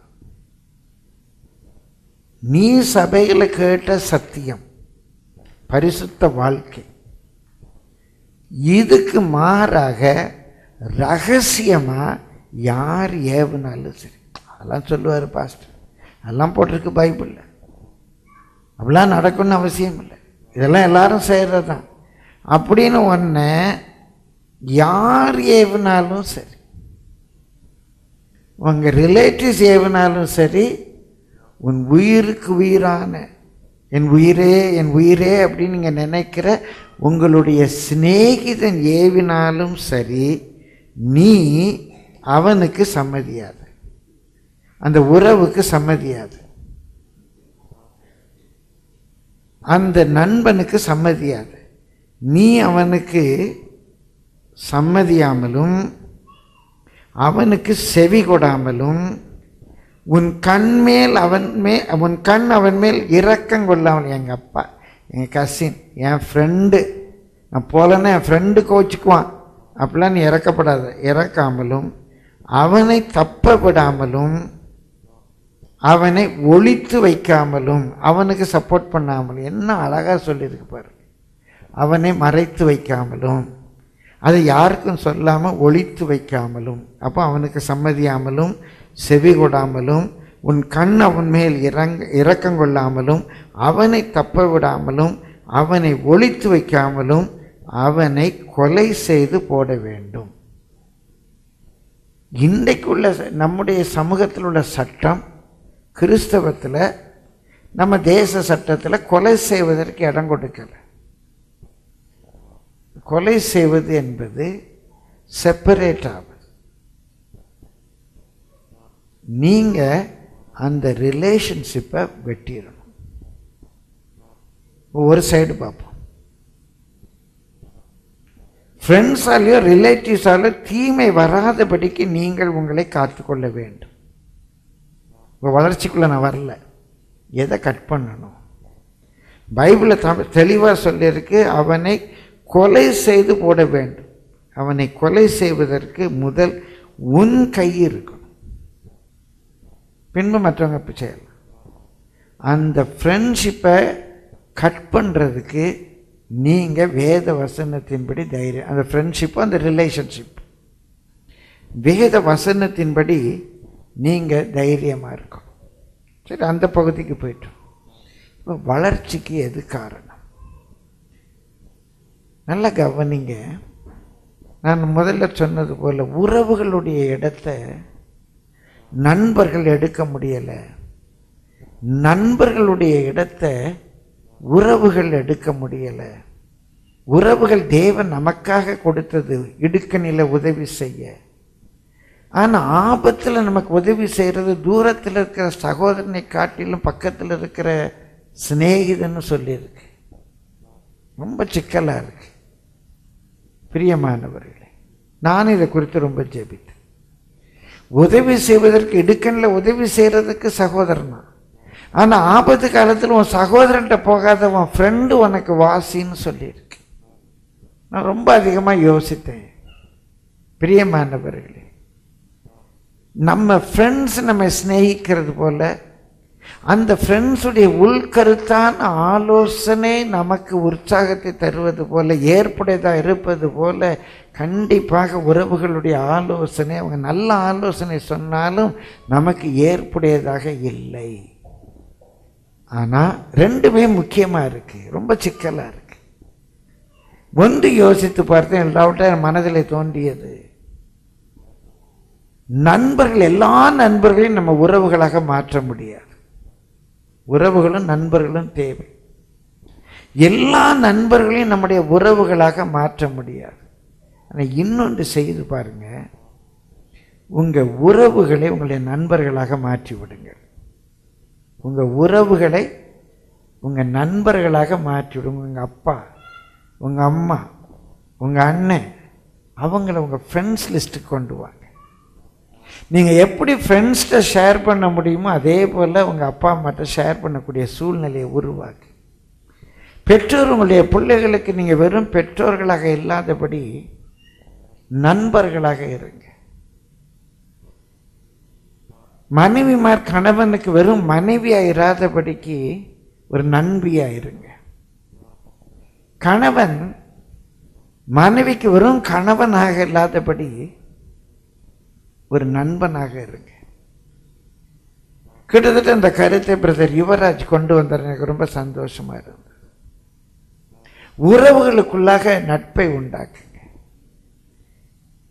எப்போ நம்மளால் சிநேகிக்க முடியும் என்றால் வேதத்தில் சொல்லப்பட்டிருக்குது சிநேகிதன் உள்ளவன் தன் சிநேகிதரை சிநேகிக்கிறான். அவங்க என்கிட்ட ஃப்ரெண்டாக இருக்காங்களா? அவங்க என்கிட்ட ஃப்ரெண்ட்ஷிப் இருக்கா என்பதை விட நீங்கள் அவங்ககிட்ட ஃப்ரெண்டாக இருங்க. ஒரு மோசே தேவனோடு முகமுகமாய் ஒரு ஃப்ரெண்டு தான் ஃப்ரெண்டுகிட்ட பேசுவது போல் பேசுவான். ஆனால் இங்கே இருக்கிற எல்லா பிள்ளைகளுக்கும் சொல்லுகிறேன் குறிப்பாக வாலிப பிள்ளைகளுக்கு சொல்லுகிறேன் ஒரு சாதாரண மனிதன் மோசே ஒரு தேவனோடு கூட பேசும்போது ஒரு ஃப்ரெண்டோடு பேசுவது போல் பேசுவான் என்று சொன்னால் தயவு செய்து உங்களை தகப்பனோடு தாயோடு பேசும்போது ஒரு ஃப்ரெண்டுகிட்ட பேசுகிற மாதிரி பேசி பழகுங்க. ஏன் என்று சொன்னால் கண்டிப்பாக உங்கள் வெளியே இருக்கிற ஃப்ரெண்டை விட உங்கள் அப்பா அம்மா உங்களுக்கு ஃப்ரெண்டாக இருப்பாங்களான்னா அவங்கள நல்லா கைட் பண்ணிடுவாங்க அப்பா அம்மா அப்பா அம்மாவாக இருந்தால் கைட் பண்ண முடியாது. நூற்றுக்கு நூறு ஃப்ரெண்ட்ஸ் தான் கைட் பண்ண முடியும். ஆனால் எல்லா ஃப்ரெண்ட்ஸும் நம்ம புரிந்து கொள்வார்களா? எல்லா ஃப்ரெண்ட்ஸாலையும் நமக்கு ஆலோசனை சொல்ல முடியுமா என்று தெரியவில்லை. நம்ம அப்பா அம்மாவால் நம்முடைய ரிலேட்டிவ்ஸால் நம்ம அங்கிள் ஆண்டியால் ஆலோசனை சொல்கிற மாதிரி. இன்றைக்கு இந்த பெரிய சபையில் ஒருவேளை தன்னுடைய அப்பா அம்மா இந்த சபையினுடைய இந்த அனுபவத்துக்குள்ளே வரலை. இங்கே ஒரு சித்தி ஒரு பாட்டி தாத்தா தான் பிரியாக்கு இருக்கிறாங்க. இன்றைக்கு அந்த சித்திட்டு அவங்களால உள்ள ரிலேஷன்ஷிப்பை மற்றவங்களோட அவங்க கொண்டு வர முடியாது. அந்த சித்தி ஒரு ஃப்ரெண்டாக இருப்பாங்களான்னா வேறு எந்த ஃப்ரெண்டுகிட்டையும் போய் தன்னுடைய பிரச்சனையை சொல்லுவதை விட பிரியா யார்கிட்ட தைரியமாக சொல்ல முடியும்? ஃப்ரெண்டாக இருக்கிற சித்திட்ட தான் சொல்ல முடியும். பிரியமானவர்களே ஒரு ஆபிரகாம் தேவனுக்கு ஃப்ரெண்டாக இருக்க முடியுமானால் தேவன் ஆபிரகாமை பார்த்து என் சிநேகிதன் அவ்வளோ பெரிய தேவன் ஆபிரகாமை பார்த்து சிநேகிதன் என்று சொல்லுவானால் அண்ணன் தம்பியை பார்த்து ஃப்ரெண்டுன்னு சொல்லக்கூடாதா? அப்பா மகனை பார்த்து ஃப்ரெண்டுன்னு சொல்லக்கூடாதா? அம்மா மகளை பார்த்து ஃப்ரெண்டுன்னு சொல்லக்கூடாதா? எந்த குடும்பத்தில் அம்மா மகளுக்கு ஃப்ரெண்டாக இருக்க முடியுமோ எந்த ஆவிக்குரிய குடும்பத்தில் அந்த ஆவிக்குரிய தகப்பன் தன்னுடைய மகனுக்கு ஃப்ரெண்டாக இருக்க முடியுமோ? எங்கே தன்னுடைய மகனை கூட்டிட்டு டிராக்ட் கொடுக்க அந்த அப்பாவால் போக முடியுமோ? கண்டிப்பாக அந்த பையனுடைய வளர்ச்சி பெரிதாகத்தான் இருக்கும். ஒரே ஒரு வசனத்தை உங்களுக்கு நான் சுட்டிக்காட்டி முடிக்கிறேன். உன்னத பாட்டு ஐந்தாம் அதிகாரம் பதினாறாம் வசனத்தில் மணவாளன் மணவாட்டிக்குள்ள உறவை பற்றி அவங்க பேசும்போது அவர் சொல்கிறா அவர் வாய் மிகவும் மதுரமாக இருக்கிறது மணவாள்னு சொல்கிறார் அவர் முற்றிலும் அழகுள்ளவர். அதை சொல்லிட்டு இவரே என் நேசர் என்னுடைய பில்லவர் என் ஹஸ்பண்ட் ஒரு ரிலேஷன்ஷிப் இவரே என்னுடைய நேசர் அடுத்த வார்த்தையை சொல்லுகிறார் எருசலேம் குமாரத்திகளே இவரே என்னுடைய சிநேகிதர். ஆங்கிலத்தில் இருக்கு this is my follower and this is my friend this is my son and this is my friend. இது என்னுடைய மகன் இவனே என் ஃப்ரெண்டு இது என்னுடைய மகா இவளே என் ஃப்ரெண்டு இது என்னுடைய மனைவி அவளே என்னுடைய ஃப்ரெண்டு நீங்கள் சொல்லி பாருங்கள் அந்த குடும்பத்தில் இருக்கிற ஆவிக்குரிய வளர்ச்சிக்கு ஈடு இணையாக இருக்கவே முடியாது. கண்டிப்பாக தேவனால் கொடுக்கப்பட்ட குடும்பத்தார் நம்முடைய அதுவும் ரட்சிக்கப்பட்ட குடும்பத்தார் ஆவிக்குரிய குடும்பத்தார் அந்த குடும்பத்தில் உள்ள வாலிப பிள்ளைகளுடைய வளர்ச்சிக்கு உதவுவது போல வெளியே இருக்கிற ஃப்ரெண்ட்ஸால் உதவவே முடியாது. ஆனால் அந்த ரட்சிக்கப்பட்ட குடும்பத்தார் அந்த குடும்பத்தில் இருக்கிற ஒரு வாலிப பிள்ளையினுடைய வளர்ச்சிக்கு உதவ வேண்டும் என்று சொன்னால் வெறும் உறவு போதாது. அவர்கள் கண்டிப்பாக நண்பர்களாக இருக்க வேண்டும். அப்போதான் அந்த பிள்ளைகளுடைய வளர்ச்சிக்கு அவர்களால் உதவ முடியும். அதனால this is my son this is my friend இது என்னுடைய மகன் இது என்னுடைய ஃப்ரெண்ட் இது என்னுடைய மகள் இது என்னுடைய ஃப்ரெண்ட் இது என்னுடைய தம்பி இது என்னுடைய ஃப்ரெண்ட் எந்த ஒரு நட்பை குடும்பத்துக்குள்ளாக வளர்த்து கொள்ளுங்க. கண்டிப்பாக அங்கே ஆவிக்குரிய வளர்ச்சி இருக்கும் என்று சொல்லி என்னுடைய கருத்தை உங்களோடு கூட பகிர்ந்து கொள்ளுகிறேன். நம்ம எல்லாருக்காக நான் கர்த்தரை நன்றியோடு கூட துதிக்கிறேன். கர்த்தரை ஸ்தோத்திரி. ஆ நம்ம ஜோம் பண்ணுவோம். கண்டிப்பாக இங்கே இருக்கிற எல்லாருக்கும் நண்பாக வேட்டு கேட்டுக்கொள்கிறேன். இந்த நட்பு உணர்வை உங்களுடைய குடும்பத்தில் கொண்டு வாங்க. தேவன் ஒரு ஆபிரகாமை ஒரு நண்பன் என்று சொல்ல முடியுமானால் இயேசு ஒரு லாசருவை நண்பன் என்று சொல்ல முடியுமானால் நீங்கள் உங்களுடைய குடும்பத்தில் உள்ளவர்களை உங்களுடைய நண்பர்களாக பாவியுங்கள். எப்படி தன்னுடைய வெளியே இருக்கிற நண்பர்களோடு தன்னுடைய பிரச்சனையை பேச முடியுமோ? அந்த சூழ்நிலையை உங்களுடைய குடும்பத்தில் உருவாக்குங்கள். கண்டிப்பாக ஆவிக்குரிய வளர்ச்சி இருக்கும். குடும்பம் தேவன் உருவாக்கின ஒன்று. அந்த குடும்பத்துக்குள்ளே நட்பு என்பது கண்டிப்பாக இருக்க வேண்டும். வெறும் ரிலேஷன்ஷிப் அல்ல. ஃப்ரெண்ட்ஷிப் ஹஸ்பண்ட் அண்ட் ஒய்ஃப்குள்ள ஃப்ரெண்ட்ஷிப் இருக்கும். நாட் அ ரிலேஷன்ஷிப் கண்டிப்பாக கத்திர ஆசீர்வதிப்பா. நான் ஜெபம் பண்ணுவோம். பாஸ்டமாக நமக்காக ஜெபிக்கும்படியாக அன்பாய் கேட்டுக்கொள்ளுகிறேன். ஆண்டவரே இந்த சபையில கட்டளையிட்டு கொடுத்த கருவைக்காக ஸ்தோத்திரம். கதா உள்ளன கருத்துக்களை இன்னுமாய் ஆராய்ந்து பார்க்கும்படியாக கத்தர் செய்திருக்கிறேன். கத்தாவே கொடுத்திருக்கிற நல்ல முடிவுக்காக நாங்கள் நம்மை ஸ்தோத்திரிக்கிறோம். வாழ பிள்ளைகள் கத்தாவே ஆண்டவர் இந்த நாட்களில் தன்னுடைய குடும்பத்தார் தன்னுடைய தகப்பன் தாய் ஆண்டவரே தன்னுடைய ஆண்ட அவருடைய கூட பிறந்தவர்கள் விடுபட்டவர்களை அதிகமாய் நேசிக்க அவர்களை கத்தாவே உண்மையாக நண்பர்களாய் பாராட்ட கத்தர் உதவி செய்யும்படியாய் ஜெபிக்கிறோம் ஐயா. கத்தாவே இந்த நாட்களில் கூடுதலாய் கத்தாவே ஆண்டவரை கத்தருடைய வாசனத்துக்கு கீழ்ப்படிந்து எல்லா காரியங்களிலையுமே மாத்திரம் பிரியப்படுத்த உமக்குள்ளாய் ஆவிக்குள்ளாக வளர கத்தர் உதவி செய்வீராக. கத்தாவே இந்த நாட்டிலேயும் இப்படிப்பட்டதான சந்தேகங்களுக்குள்ளாய் தங்களுடைய வாழ்க்கையினுடைய போராட்டங்கள் கத்தாவே சந்தேகங்களுக்குள்ளாய் இருக்கிற வாழை பிள்ளைகளும் கூட கத்த நீர் கத்தாவே நீர் பாதை காட்டி நடத்தும்படியாய் ஜபிக்கிறோம். குடும்ப உறவுகளில் அந்த மாற்றத்தை கத்தர் கட்டளை இடுவீராக தொடர்ந்து நீ நடத்துவீராக. இயேசு கிறிஸ்துவின் நாமத்தில் விடாது அன்பின் இயேசுவே உடைய ஜனத்தை ஆசீர்வதி ஐயா. வாரம் முழுவதும் உடைய கிருபையுள்ள கரம் உடைய பிள்ளைகளோடு கூட இருப்பதாக போக்கியும் வரத்தையும் ஆசீர்வதி ஆபத்து விபத்து மோசங்களுக்கு விக்கினங்களுக்கு விலக்கி காத்தரணும். அல்லவரே வியாதி பலவீனம் விசுவாசிகள் ஒருவரையும் தொட விடாதீங்க. உம்முடைய பலன் உம்முடைய பலன் உம்முடைய பலன் உம்முடைய பிள்ளைகளை சூழ்ந்து கொள்ளும்படியாக அடிமை செபிக்கிறேன் ஐயா. ஆண்டவரே உங்கள் கையின் பிரயாசங்களை ஆசீர்வதி. எதிர்பார்த்திருக்கிற நன்மையை கட்டளையிடும். உடைய கிருபை உடைய பிள்ளைகளோடு கூட இருப்பதாக.